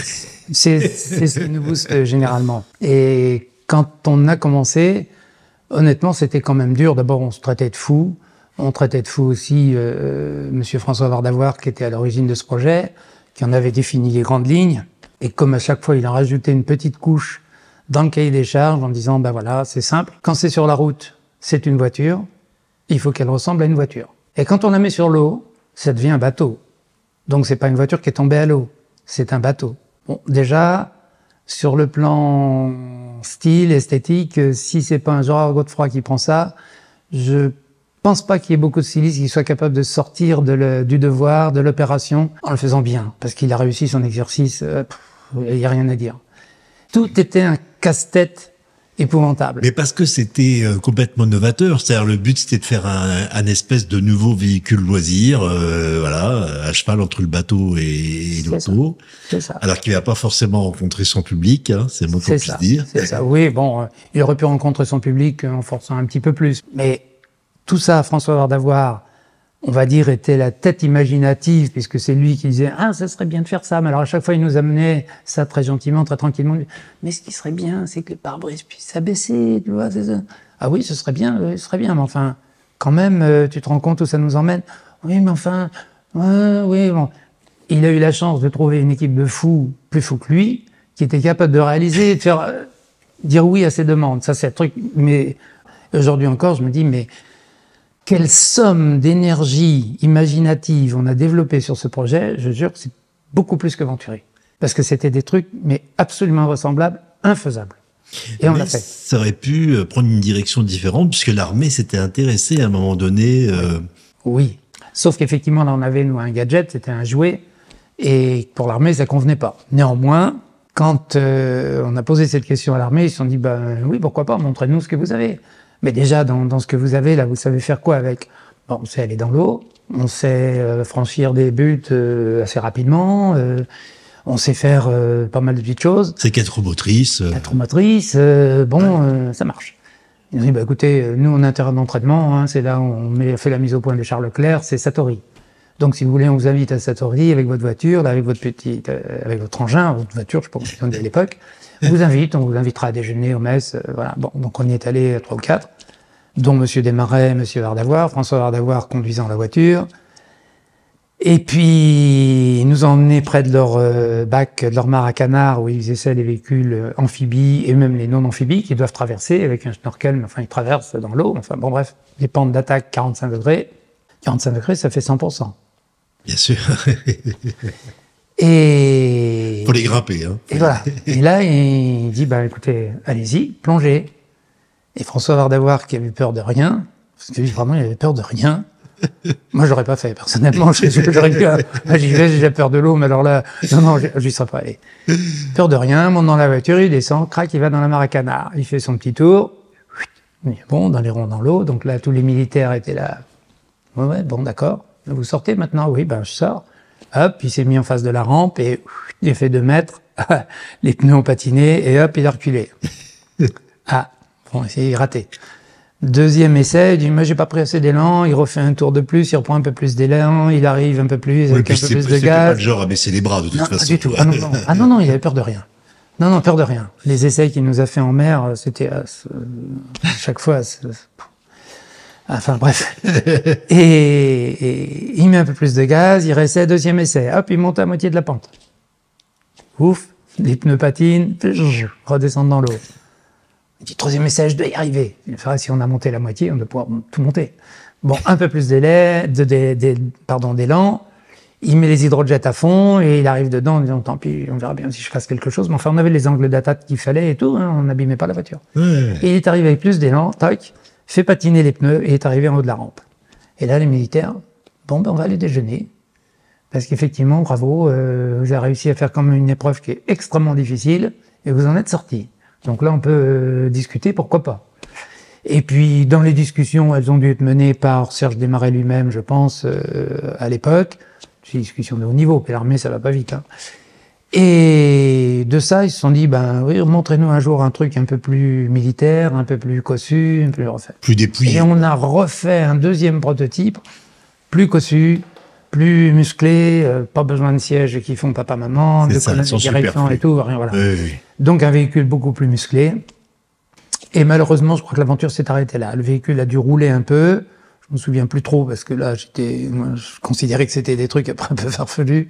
Et je me souviens pas avoir vu ce véhicule rouler, mais il a dû rouler parce qu'il était fini, etc. Parce que dans le même temps, dans le même temps, on développait le véhicule parcours. Non, passeport. Ça. Excusez-moi, parce que parcours, c'est un autre véhicule. Exactement. Donc le passeport, c'était un autre cahier des charges, puisque M. Desmarais avait euh, bien compris que le premier véhicule, petit véhicule euh, amphibie euh, jouet qui s'appelait B612, était l'image de marque de la société, c'était montrer notre savoir-faire, et qu'après il fallait faire un véhicule qui soit un peu plus alimentaire et susceptible de nous faire gagner de l'argent. Bon. Juste pour, pour le présenter, Serge Desmarais, qui est euh, homme d'affaires et qui est... Euh, le frère de Monsieur Desmarais Total. Le frère de Thierry Desmarais, l'ancien PDG de Total. C'est cela. Donc Monsieur Serge Desmarais dit, ben, on va lancer un deuxième véhicule, mais on perd pas de temps, on fait tout de suite tendance. Donc le B612, on avait produit peut-être une quarantaine. Et puis en même temps, moi j'étais déjà branché sur le passeport, c'est-à-dire le suivant, alors le passeport, c'est une sorte de SUV, quoi, avant l'heure, quoi. C'est un monospace. Un monospace, voilà. De la taille du Scénic Renault. C'est ça. Avant l'heure. C'est encore un dessin de Gérard, bien sûr. Hein. C'était toujours la même équipe, les mêmes éléments. Ouais, mais quand on le compare à un Scénic, je trouve que c'est. Oui, oui, oui, je, je partage votre avis parce qu'effectivement, euh, si on le regarde maintenant, ça a effectivement beaucoup mieux vieilli. Donc les quatre portes étaient coulissantes, l'arrière vers l'arrière, l'avant vers l'avant. C'est ça. Des deux côtés. Et on entrait sans pied milieu. Très accessible, c'était très bien encore des petits mécanismes dont vous imaginez que c'était très simple, les portes, etc., etc., que tout se ferme normalement. Que, hein, bon, bref. Donc, on a encore fait des petites prouesses là-dessus. Sauf que là, on s'était simplifié la vie sur le plan de la mécanique, puisqu'on avait adopté une euh, banque d'organes qui venait d'une euh, d'une Opel Calibra, 4 roues motrices, 200 chevaux. Donc, j'étais allé chez Opel convaincre ces messieurs d'Opel. En Allemagne, hein. Facile, hein, en Allemagne, très facile. Euh, d'aller leur dire, bah, vendez-nous des, des, moteurs, des boîtes de vitesse, des ponts et tout. Enfin, en gros, vendez-nous votre savoir-faire. On va bricoler ça, on va faire autre chose. Bon, vous voyez, là, il faut trouver les arguments. Mais après, je commençais à être rompu à l'exercice, donc ça me posait pas trop de problème, ça. Il faut trouver les arguments, mais quand on a les bons arguments, on réussit à les faire valoir, etc. Ils ont accepté. Et ils nous ont vendu, je sais pas, une trentaine de collections d'Opel de, Calibra comme ça. On a monté tout ça, on a fait la voiture euh, avec, on l'a homologué, crash test, etc., etc. On a dû faire deux ou trois prototypes. Monsieur Desmarais a roulé avec l'un d'entre eux euh, pas mal, et il trouvait ça très bien. Et puis au moment où on devait passer un petit peu dans la phase d'industrialisation, ben là encore, il fallait de l'argent, pas mal d'argent. Monsieur Desmarais le savait parce que c'est un excellent gestionnaire et il avait prévu effectivement de faire entrer dans son tour de table, de trouver un partenaire qui était un partenaire qui était une banque euh, euh, écossaise et qui lui avait dit oui, on est d'accord, on rentre dedans. Et au dernier moment, cette banque écossaise a dit non, on n'entre pas sur le tour de table, Monsieur Desmarais, on ne peut pas. Désolé, mais on arrête. Et là, Monsieur Desmarais m'a appelé un dimanche matin. Donc Claude, je suis désolé de vous déranger, mais euh, je vous signale qu'on va s'arrêter parce que mon partenaire écossais ce qu'il vous dit. ne veut pas rentrer. Je ne peux pas assumer ça tout seul. Je préfère m'arrêter maintenant. Donc voilà, on arrête tout. Euh, voilà. Comme j'avais un titre de directeur technique, bah, vous retrouvez effectivement bah, euh, mandataire social. Donc il n'y a pas de chômage, il n'y a pas de, y a pas rien. C'est fini. Vous sortez, euh, terminé. C'est le jeu. Bon, ben donc ça s'est arrêté comme ça. Et puis ça sera, c'est ce qui va signer quelque part euh, la fin de votre euh, parcours automobile. Parcours automobile, ouais, dans le professionnel. Quoique, parce que dernièrement, on va y revenir tout à l'heure, mais euh, elle n'est pas tout à fait terminée cette affaire-là. Avec vous, c'est ça, ça s'arrête jamais, c'est ça. c'est une histoire sans fin. Est-ce que à ce moment-là, vous êtes vacciné l'automobile? En grande partie, oui. Après, après au Bicard, oui, quand même, oui. Ouais. Oui, oui, je, c'est un coup dur quand même au Bicard pour vous? Non. Enfin, psychologiquement parlant. Je non, non, non, non, parce que je m'y attendais, je voyais quand même euh, un petit peu ce qui se passait. Donc j'avais un peu l'habitude, avec l'expérience en Turie, je commençais à avoir l'habitude de savoir ce qui se passait. Mais je ne me suis pas mis à rechercher un autre support ou un autre constructeur ou une autre aventure pareille. Si on m'en avait proposé une autre, j'aurais dit on va se calmer un peu. Maintenant, j'ai envie de faire autre chose quand même, parce qu'à chaque fois, je le dis, je ne le fais pas, et là, je l'ai fait. Alors, on l'évoquait au début de, de l'émission. Euh, on va la nommer Françoise. Oui. Votre femme vous a toujours soutenu dans vos choix et euh, absolument. Et euh, vous a toujours euh, supporté. Exactement, supporter et me laisser libre dans mes choix. Et à ce moment-là, elle va tomber sur un terrain, on va dire, euh, à vendre aux Antilles, c'est ça? Oui, c'est ça. En Guadeloupe, je crois, c'est ça? C'est ça. Enfin, Marie-Galante, c'était précisé, Marie-Galante. Ah bah, c'était précisé, ah, oui, Marie-Galante. C'était précisé, Marie-Galante, donc euh, tout de suite, on a regardé sur une carte où c'était. Et là, comme une, euh, comme un revers de, je sais pas comment dire ça. C'est vous qui allez la suivre dans, euh, un petit peu, dans sa volonté, votre analyse, dans ses rêves à elle. Votre analyse est juste parce que c'était pas moi qui étais le moteur là. C'est ça. C'était plutôt elle qui avait effectivement cette idée, puisqu'elle m'a mis cette annonce sous les yeux en disant restaurant à vendre.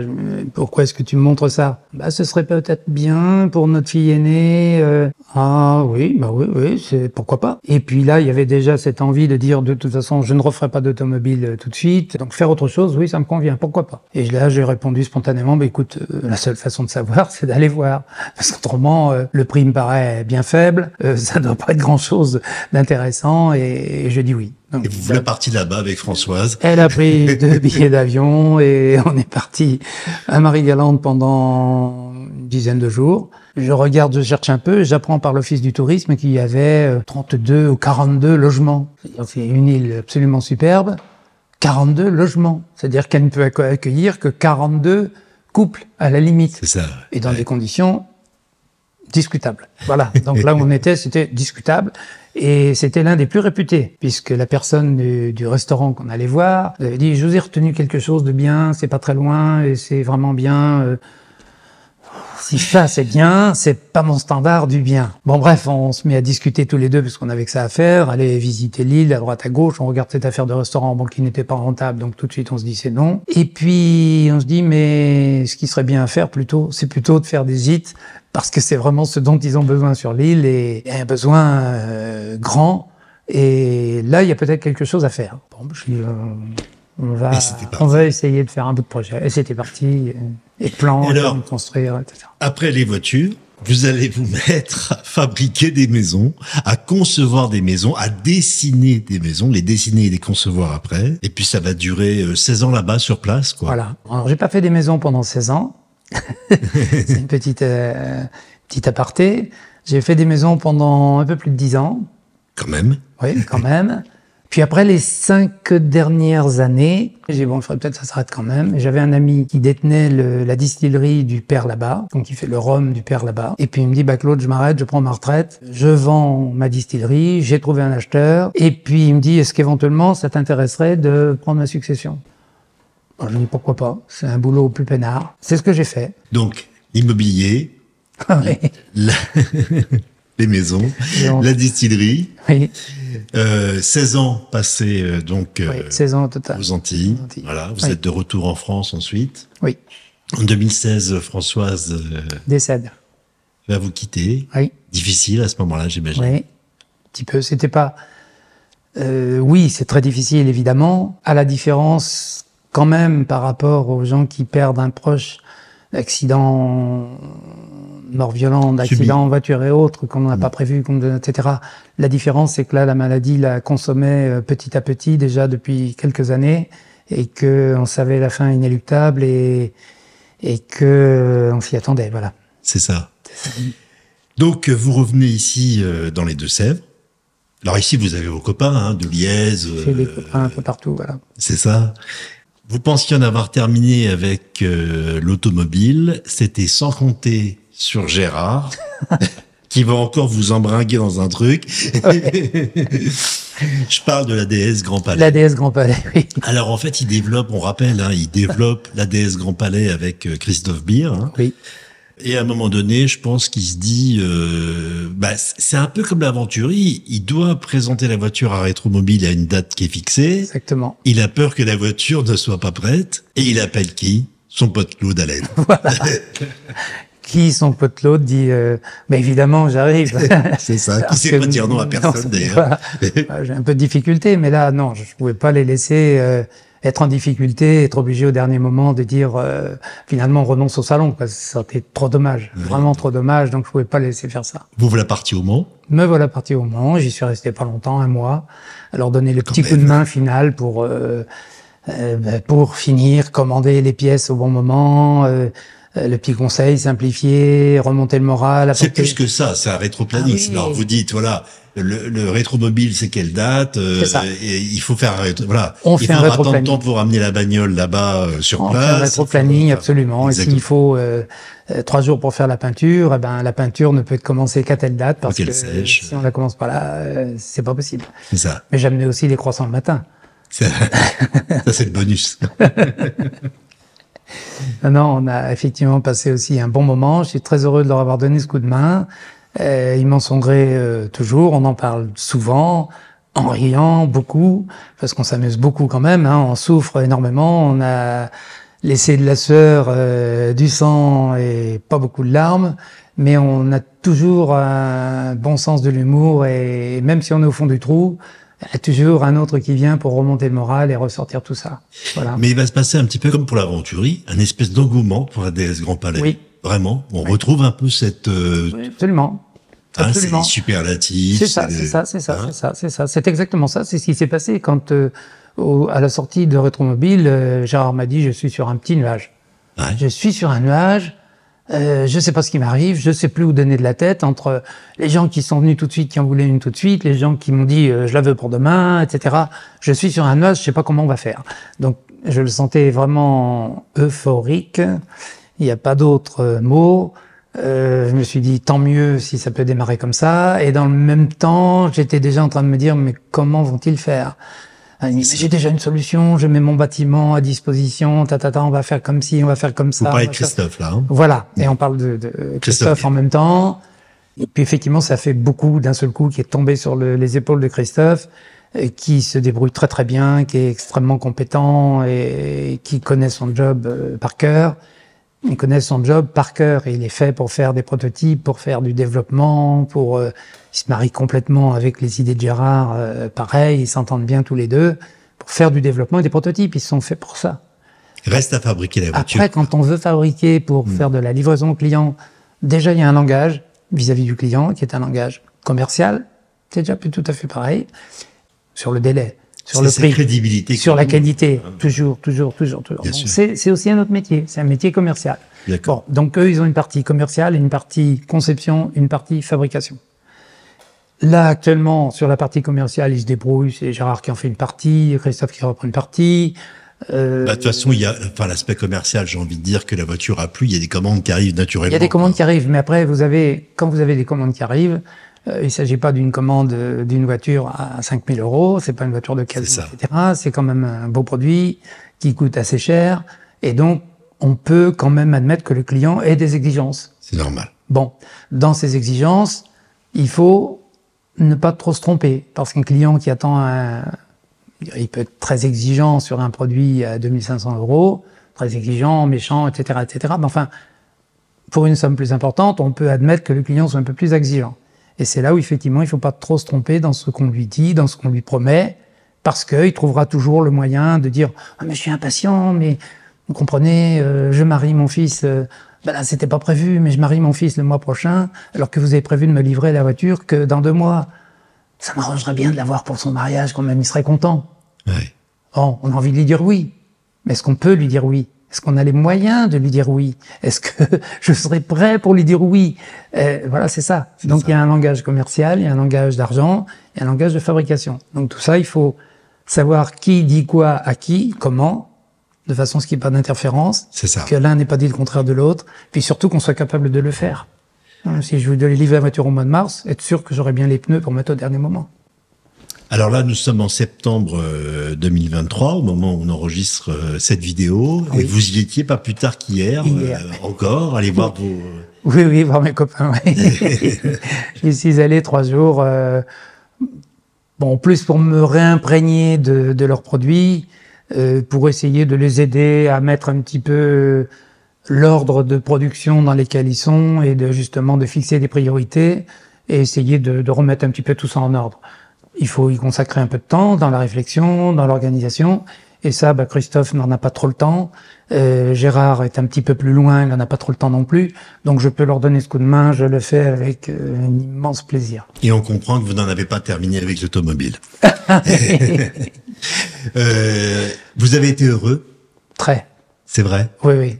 Très. Euh, et principalement. Personnellement et professionnellement, pardon. Ah oui, oui, oui, oui, oui, oui, oui, oui. Personnellement, j'ai, oui, j'ai eu beaucoup de chance. À Françoise qui d'avoir les, voilà, euh, l'épouse que j'ai eue. Euh, je connais pas beaucoup parmi mes copains, amis, collègues ou autres euh, qui m'aient tous dit qu'ils avaient tous une femme qui cédait à tous leurs caprices. Euh, en étant à la fois euh, aimante, reconnaissante et encourageante. Euh, donc ça, c'est un bien précieux. Vous, vous auriez pas pu faire tout ça sans elle? Non, non, parce qu'effectivement, euh, bah, j'ai eu aussi mes moments euh, de fatigue, de doute, euh, de le crash test par exemple, Venturi, quand vous faites un pari, quitte ou double, mais c'est le prix d'une voiture en disant si je me rate, il faut que j'aille expliquer que je dois en remettre une autre. Bon, ça, ça paraît pas facile, surtout quand vous avez dit mais si, si, je dois y arriver. On doit y arriver, il n'y a pas de raison. Ou alors c'est de la malchance. Mais je dois y arriver. Et que ça tient à tellement peu de choses. Euh, pendant elle était là pour vous remonter le moral. Voilà, elle me disait mais mais si ça tu fait ce qu'il fallait, et, si si mais ça va aller, t'inquiète pas parce qu'elle avait toujours hein, toujours le moral et toujours en avance et toujours très enthousiaste pour plein de choses. Et elle me dit, mais si, mais si, ça va y aller, allez, euh, t'inquiète pas de ça, euh, voilà. Donc elle était effectivement toujours là, et, elle l'a toujours été. Quand je lui disais, pas facile, hein, quand je suis parti de chez Chrysler pour aller chez Alpine en disant, écoute, ça y est, je suis pris, mais il faut que je te dise quelque chose, euh, notre salaire diminue de 1400, euh, ou c'était 1700 à 1400, enfin diminue de 300 francs. Euh, c'est pas 300 francs sur 6000, c'est 300 francs sur 1700 ça faisait quand même un gros trou. Je me disais, oui, bah, tant pis, on s'arrangera. Euh, bon. Après, quand je lui ai dit dans l'autre sens, euh, là, je gagne tant, mais là, je vais gagner beaucoup plus. Ah, ah au moins, ça va. D'autant plus qu'elle m'avait dit, écoute, je veux bien me déplacer partout où tu vas, mais jamais vers le nord. Alors qu'on était effectivement à La Rochelle. Déplacement Dieppe. Dieppe. ah, bon. Après, quand on est revenu vers le sud, il y avait moins de risques. Est-ce qu'il y a quelque chose que vous referiez euh, différemment, une décision peut-être que vous prendriez euh, différemment Enfin, je sais pas. Euh, un regret peut-être. Oui, peut-être sur peut-être sur Venturi, je prendrais avec le, le métier de recul et l'expérience, Peut-être sur Venturi, en voyant, en sachant qu'effectivement les vautours sont toujours là sur leur perchoir, quel que soit l'endroit, quel que soit le produit, euh, je serais beaucoup plus vigilant là-dessus et, je freinerais beaucoup plus et je mettrais beaucoup plus en garde. Et je me protégerais non pas moi mais l'entreprise en disant vis-à-vis des actionnaires en disant attention il peut se passer ça ça ça ou ça ou ça. Et ça il ne faut pas le faire ça il faut pas l'accepter. Si vous me dites aujourd'hui que vous l'acceptez moi je n'y vais pas si vous me dites que, voilà, vous me faites confiance pour ça, ça, ça et ça et ça, euh, voilà. Je fais mal, je me trompe, vous me sanctionnez, oui. Mais tout pendant que vous n'avez pas montré que j'ai fait une faute grave, que je me suis trompé, euh, et qu'effectivement vous préférez le langage de quelqu'un d'autre qui vous joue du violon, ok, si vous préférez le violon au piano, euh, bon, je peux rien, mais dites-le moi avant. Vous auriez dû exiger davantage de contrôle un espèce de, on appelle ça en anglais le final cut, c'est-à-dire la décision finale qui vous revenait pour les, pour les part, bon, j'en avais pas la possibilité financièrement. Hein. Vous avez un actionnaire principal, celui qui a les, sous qui décide. Hmm. Bon, mais j'aurais pu être plus vigilant justement vis-à-vis des vautours. Et comment faire? Comment, ben... comment, comment lui le, convaincre face euh, Peut-être euh, en dressant quelques quelques bus bien affûtés, quelques autres rapaces plus malins et qui auraient été capables de casser les pattes aux vautours à temps. Ouais. Voilà. Ou leur euh, couper un bout du bec. Enfin bref, qu'ils soient un petit peu moins virulents et un peu moins persuasifs. Parce qu'après, il faut, il faut les arguments pour démontrer que c'est une ânerie. Si quelqu'un arrive euh, en vous disant mais demain je vais vous vendre 200 venturies en Italie, oui, montre-moi le contrat montre-moi le prix de vente, montre-moi le nom du contrat, avec qui c'est signé, dans quelles conditions. Ça, je l'ai pas demandé. J'aurais dû le voir. Euh, Monsieur Priman l'a pas demandé à Monsieur de la Chapelle. Il voilà, il l'a pas demandé parce qu'il lui a dit ce qu'il voulait entendre. Donc ça, c'est le plus dangereux. Quand vous dites à quelqu'un ce qu'il a envie d'entendre, même si c'est pas la vérité, ça y est, c'est vendu. Alors que là, aujourd'hui, je dirais non, mais attends, ce que j'ai fait un tout petit peu après avec Stéphane Rattel en disant d'accord 50 voitures ça me paraît oui mais qui les achète? Ben voilà. Que ceux qui vont les acheter c'est ceux-là. Et il y en aura 50 euh, j'ai une liste de 54 ou 55 ce sera les 50 premiers qui m'auront donné le chèque. Ils l'ont. Hmm. dites-moi qui voulait appeler et je sais que si j'en avais appelé 10 il avait les 10 euh, au bout. C'était vrai. Bien sûr. C'était vrai. Mais ça je l'ai pas fait pour l'Italie quand euh, Monsieur de la Chapelle me dit mais ah, j'ai un client italien. Oui, parce qu'on l'a Comment il s'appelle C'est qui C'est le réseau de si. Je connais pas tous les réseaux, je connais pas tout le monde. C'est ça. Mais montrez-moi un contrat en béton par le gars, lequel le gars s'engage à acheter une voiture. Puis après, on est beaucoup plus ferme de dire, écoutez, votre fiscalité à 2 litres. Ok, mais accepter de développer une voiture 4 cylindres, on l'a fait parce qu'il y avait un moteur tout fait, mais c'était ridicule. C'était ridicule. Oui, parce qu'il faut rappeler qu'en Italie, la législation était plus contraignante qu'en France à ce moment-là en termes de, de, Il fallait, les moteurs de litre étaient trop fiscalisés. Donc il fallait être en dessous de litres. Alors de là à redescendre un V6 à un 4 cylindres, ça fait un peu ridicule. Comment voulez-vous Les Italiens ont fait des moteurs de, de des V6 de litres? Bon, eh ben nous on se pointe avec un 4 cylindres de litres parce qu'on n'a pas un V6 de litres. On était ridicule. Mm. C'était ridicule. Et ça, j'aurais jamais dû l'accepter, mais il l'avait déjà vendu. Ouais. Il avait déjà vendu. Et quand vous l'avez vendu à l'actionnaire principal, bah, vous n'êtes rien. Je comprends. c'est tout. C'est fait, c'est fait. Quel euh, message vous auriez envie d'envoyer à votre pote Gérard Ah, Gérard, à l'intermédiaire de la caméra. Surtout, euh, Gérard, continue de rester comme tu es et continue de, de dessiner, continue d'avoir des projets, continue de rêver et puis, tu sais qu'effectivement, tu me feras toujours aussi rêver avec tes dessins et tes créations, donc je suis toujours prêt à te suivre. Merci Claude.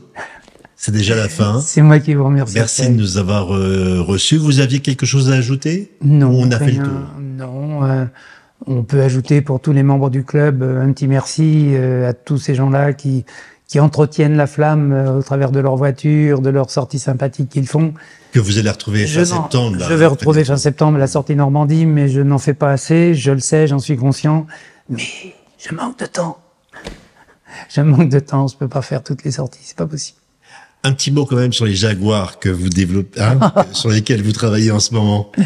Oui, j'ai j'ai deux Jaguars, un, une cabriolet de 69, des série, E, hein. série 2, type oui voilà, une type E, série 2 69 c'est un cabriolet que je suis en train de finir de peaufiner pour euh, finir la mise au point parce que je veux qu'elle soit comme j'ai envie qu'elle soit, de façon à la mettre en vente tout simplement parce que j'ai entamé la restauration d'un coupé, série 2 69, et que effectivement ce coupé, bah, il faut aussi le financer, que je ne suis pas banquier et que euh, l'argent de la première pourra me servir à faire la seconde, puisque moi ce qui m'intéresse c'est effectivement de construire, faire, modifier, euh, aménager, etc., etc.